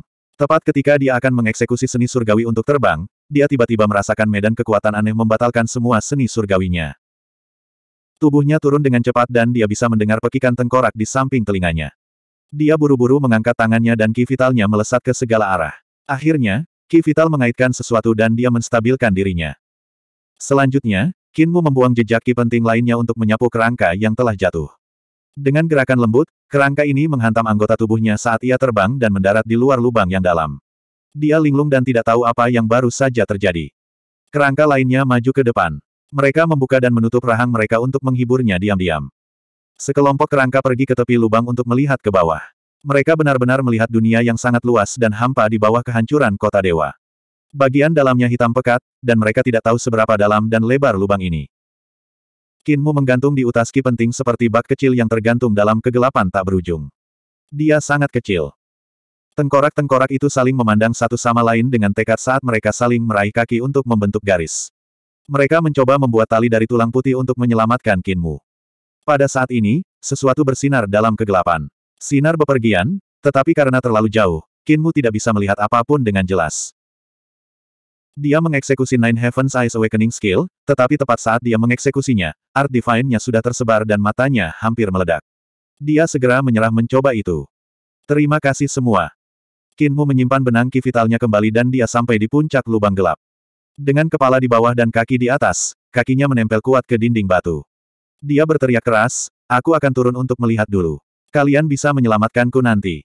Di ujung tali tulang putih, kerangka itu menggelengkan kepalanya. Kinmu tiba-tiba menggebrak dengan paksa dengan kakinya. Dia melesat seperti panah menuju cahaya itu.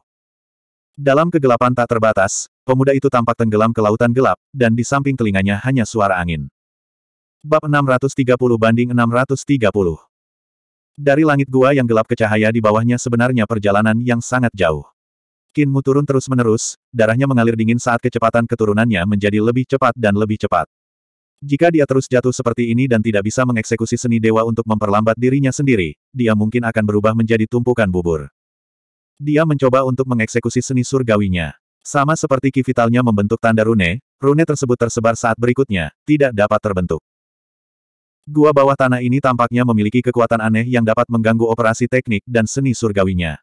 Kinmu segera menyadari bahwa gangguan semacam ini ada di kesadarannya. Setiap kali dia mencoba untuk mengeksekusi seni surgawinya, akan ada kekuatan aneh yang mengacaukan pikirannya. Ini membuatnya tidak dapat menjalankan seni surgawinya. Seni surgawi mental. Kinmu tercengang. Meskipun jenis seni surgawi ini jarang terlihat, Grid Educational Heavenly Devil Scriptures memiliki beberapa catatan mengenai seni surgawi bidang ini. Mereka adalah seni surgawi yang mengandalkan gelombang otak yang kuat, yang mengarah ke pikiran, mereka biasanya serangan ilusi. Hal ini menyebabkan lawan tenggelam dalam halusinasi, membuat mereka tidak dapat membedakan mana yang nyata dan yang palsu. Pada saat ini, dia bisa menggunakan seni surgawi sendiri untuk keluar dari tanah fantasi dan mengintip kebenaran, membunuh lawan. Namun, seni surgawi mental di gua bawah tanah ini bahkan lebih mendalam. Itu menghantam kesadarannya secara langsung dan membuatnya tidak dapat mematahkan seni surgawi mental lawan. Seni surgawi mental adalah arah yang layak dipelajari. Saya perlu memberitahu Imperial Preceptor tentang hal itu begitu saya kembali. Kita dapat melatih beberapa sarjana dengan seni mental surgawi. Jika mereka berada di medan perang dan meledak dengan seni surgawi mental, musuh tidak akan dapat melaksanakan seni surgawi mereka. Ini akan semudah menyembelih ternak. Bah, mengapa saya memikirkan ini sekarang? Aku hampir menjadi bubur sekarang. Meskipun begitu Kinmu tidak bisa memfokuskan kesadarannya, tubuhnya yang jasmani masih sangat kuat. Dia mengambil satu langkah dan mencoba berlari dalam kegelapan. Dia mencoba menggunakan kecepatan yang sangat menakjubkan untuk membiarkan dirinya berlari di udara. Selanjutnya, dia menemukan poin aneh. Udara di tempat ini sangat tipis. Semakin dia turun, semakin tipis udara menjadi. Bahkan jika dia berlari dengan kakinya, dia tidak bisa meminjam kekuatan apa pun. Tepat pada saat ini, dia melihat bintang. Bintang itu sebenarnya hanya seukuran keranjang. Seharusnya sebutir pasir bintang. Pasir bintang kakak senior. Dia memang pernah datang ke sini sebelumnya.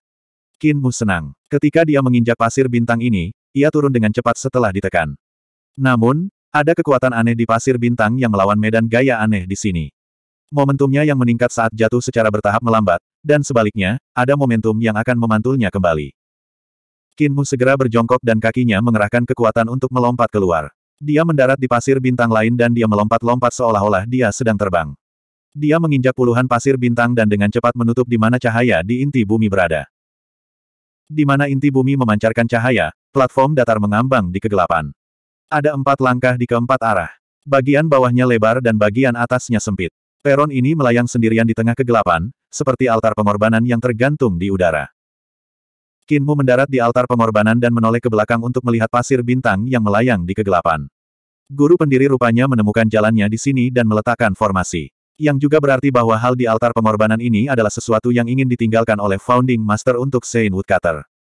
Apa sebenarnya benda ini? Kakak senior sudah meninggalkan dua hal. Salah satunya adalah pisau eksekusi dewa misterius, kepala manusia yang dimasukkan ke dalam sebuah kotak. Yang lainnya adalah cap komandan yang berasal dari beberapa era. Kalau begitu, ada apa di altar pengorbanan ini? Dia melihat ke arah pusat altar pengorbanan dan melihat ada peti mati di sana. Dia tidak tahu batu apa yang terbuat dari peti mati ini.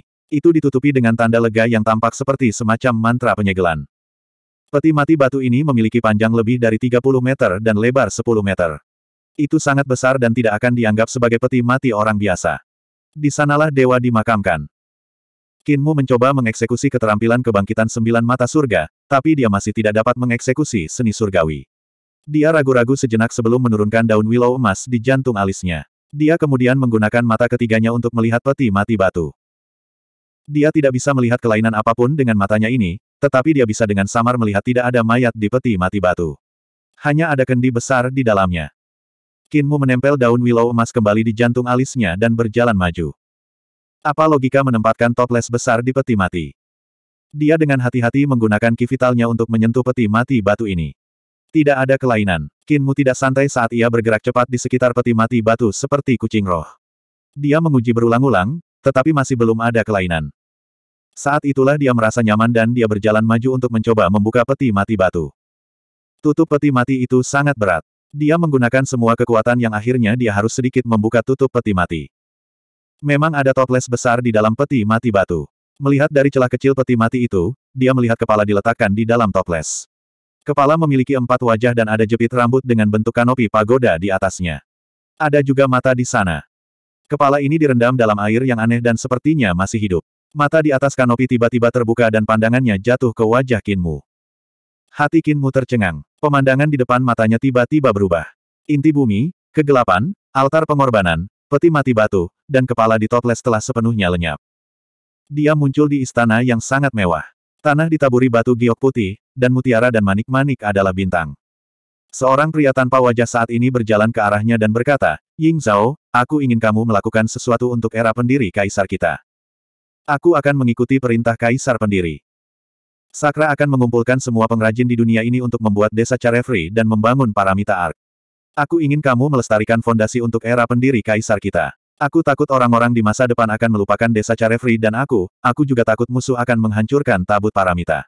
Ini adalah cetak biru tabut paramita. Kau memiliki otak dewa terkuat, hafal mereka. Kinmu melihat cetak biru yang menumpuk seperti gunung. Dia, melihat, dirinya membalik-balik halaman cetak biru ini. Diagram dan tulisan pada cetak biru itu sangat rumit dan sulit untuk dihafal, tetapi, dia, berhasil mencetak halaman-halaman ini tanpa salah dalam ingatannya. Yang mulia, Apakah kita benar-benar tidak memiliki peluang untuk menang? Kinmu mendengar suara yang tidak dikenal. Itu adalah suara dewa bernama Ying Sao. Tidak. Pria tanpa wajah itu memalingkan punggungnya ke arahnya dan menggelengkan kepalanya. Tidak ada sama sekali. Semakin aku tahu tentang musuh kita, semakin aku merasa putus asa. Masa lalu dalam sejarah semua telah dihapus dan sulit bagi kita untuk melarikan diri dari nasib yang sama juga. Namun, masih ada harapan di masa depan. Meninggalkan cetak biru ini berarti harapan tertinggal. Di masa depan, keturunan saya akan datang untuk mencari Anda dan mengambil kembali cetak biru ini.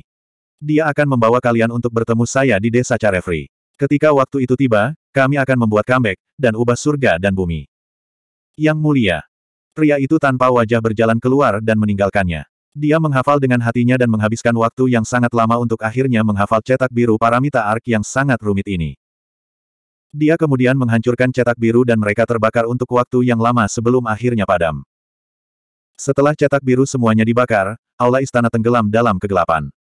Cahaya melonjak keluar dari kegelapan di depan mata Kinmu. Adegan di depannya adalah medan perang para dewa yang berlangsung dalam skala luar biasa. Di mana-mana di langit dan di tanah ada para dewa yang saling bertarung. Dewa yang tak terhitung jumlahnya telah meninggal. Pemandangan itu menyedihkan. Kinmu melihat pendiri Kaisar Surgawi jatuh dari tempat yang sangat tinggi dan menghancurkan lapisan-lapisan langit. Itu meninggalkan jejak api dan cahaya yang panjang saat jatuh ke dunia lain. Kinmu memandang, dirinya, dengan linglung dan, dia, saat ini mengangkat pedang surgawi. Dia, lalu meletakkannya dan kembali ke kota dewa. Dia pergi ke bawah tanah dan membangun ruang kegelapan di bawah tanah. Dia membuat altar pengorbanan. Dia menggunakan kesadarannya untuk membangun medan kekuatan mental yang abnormal dan menyiapkan peti mati untuk dirinya sendiri. Dia kemudian menempatkan sebuah toples besar di peti mati dan menuangkan air ke dalam toples.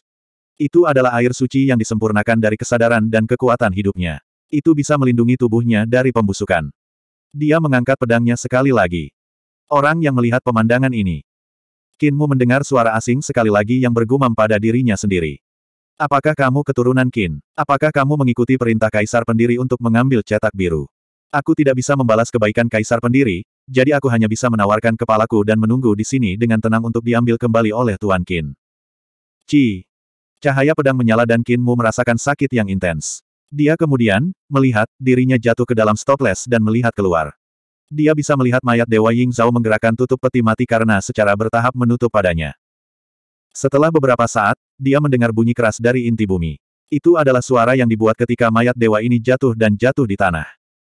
Mata Kinmu merah dan dia menghapus air matanya. Kepala dalam toples itu tampaknya dapat melihat dan kepalanya perlahan-lahan berbalik. Gelombang otak yang kuat bergema di dalam kesadaran Kinmu, dan cetak biru itu berubah menjadi gambar-gambar yang tertanam kuat dalam benaknya. Semakin banyak gambar yang muncul, semakin sedikit air suci yang tersisa di toples. Ketika air surgawi dalam tabung habis, pikiran Kinmu sudah diisi dengan cetak biru paramita ark. Kepala dewa itu masih memberikan gelombang otak dan melewati sisa cetak biru ke dalam pikiran Kinmu. Kepala itu membusuk pada tingkat yang bisa dilihat oleh mata telanjang. Ketika kesadarannya menipis, hanya tengkorak yang tertinggal berbaring diam di dasar toples. Kinmu berdiri diam-diam di depan peti mati batu ini. Dia tiba-tiba berkata, kamu tidak berhutang apa-apa pada keluarga Kin, keluarga Kin berhutang budi padamu. Aku bisa membiarkanmu mati tanpa mayat lengkap. Dia melompat turun dari altar pengorbanan dan menggantung dari utas vital Ki untuk terus turun ke bawah tanah yang gelap. Setelah waktu yang lama, Kinmu membawa kerangka tanpa kepala dan Ki vital yang setipis laba-laba perlahan menariknya. Dia kembali ke altar pengorbanan dan mengeluarkan kendi besar itu. Dia menempatkan kerangka tanpa kepala dengan hormat ke dalam peti mati dan mengeluarkan tengkorak itu dari tabung, menempatkannya di leher kerangka tanpa kepala ini. Kinmu menutup peti mati batu dan membungkuk tiga kali ke sana.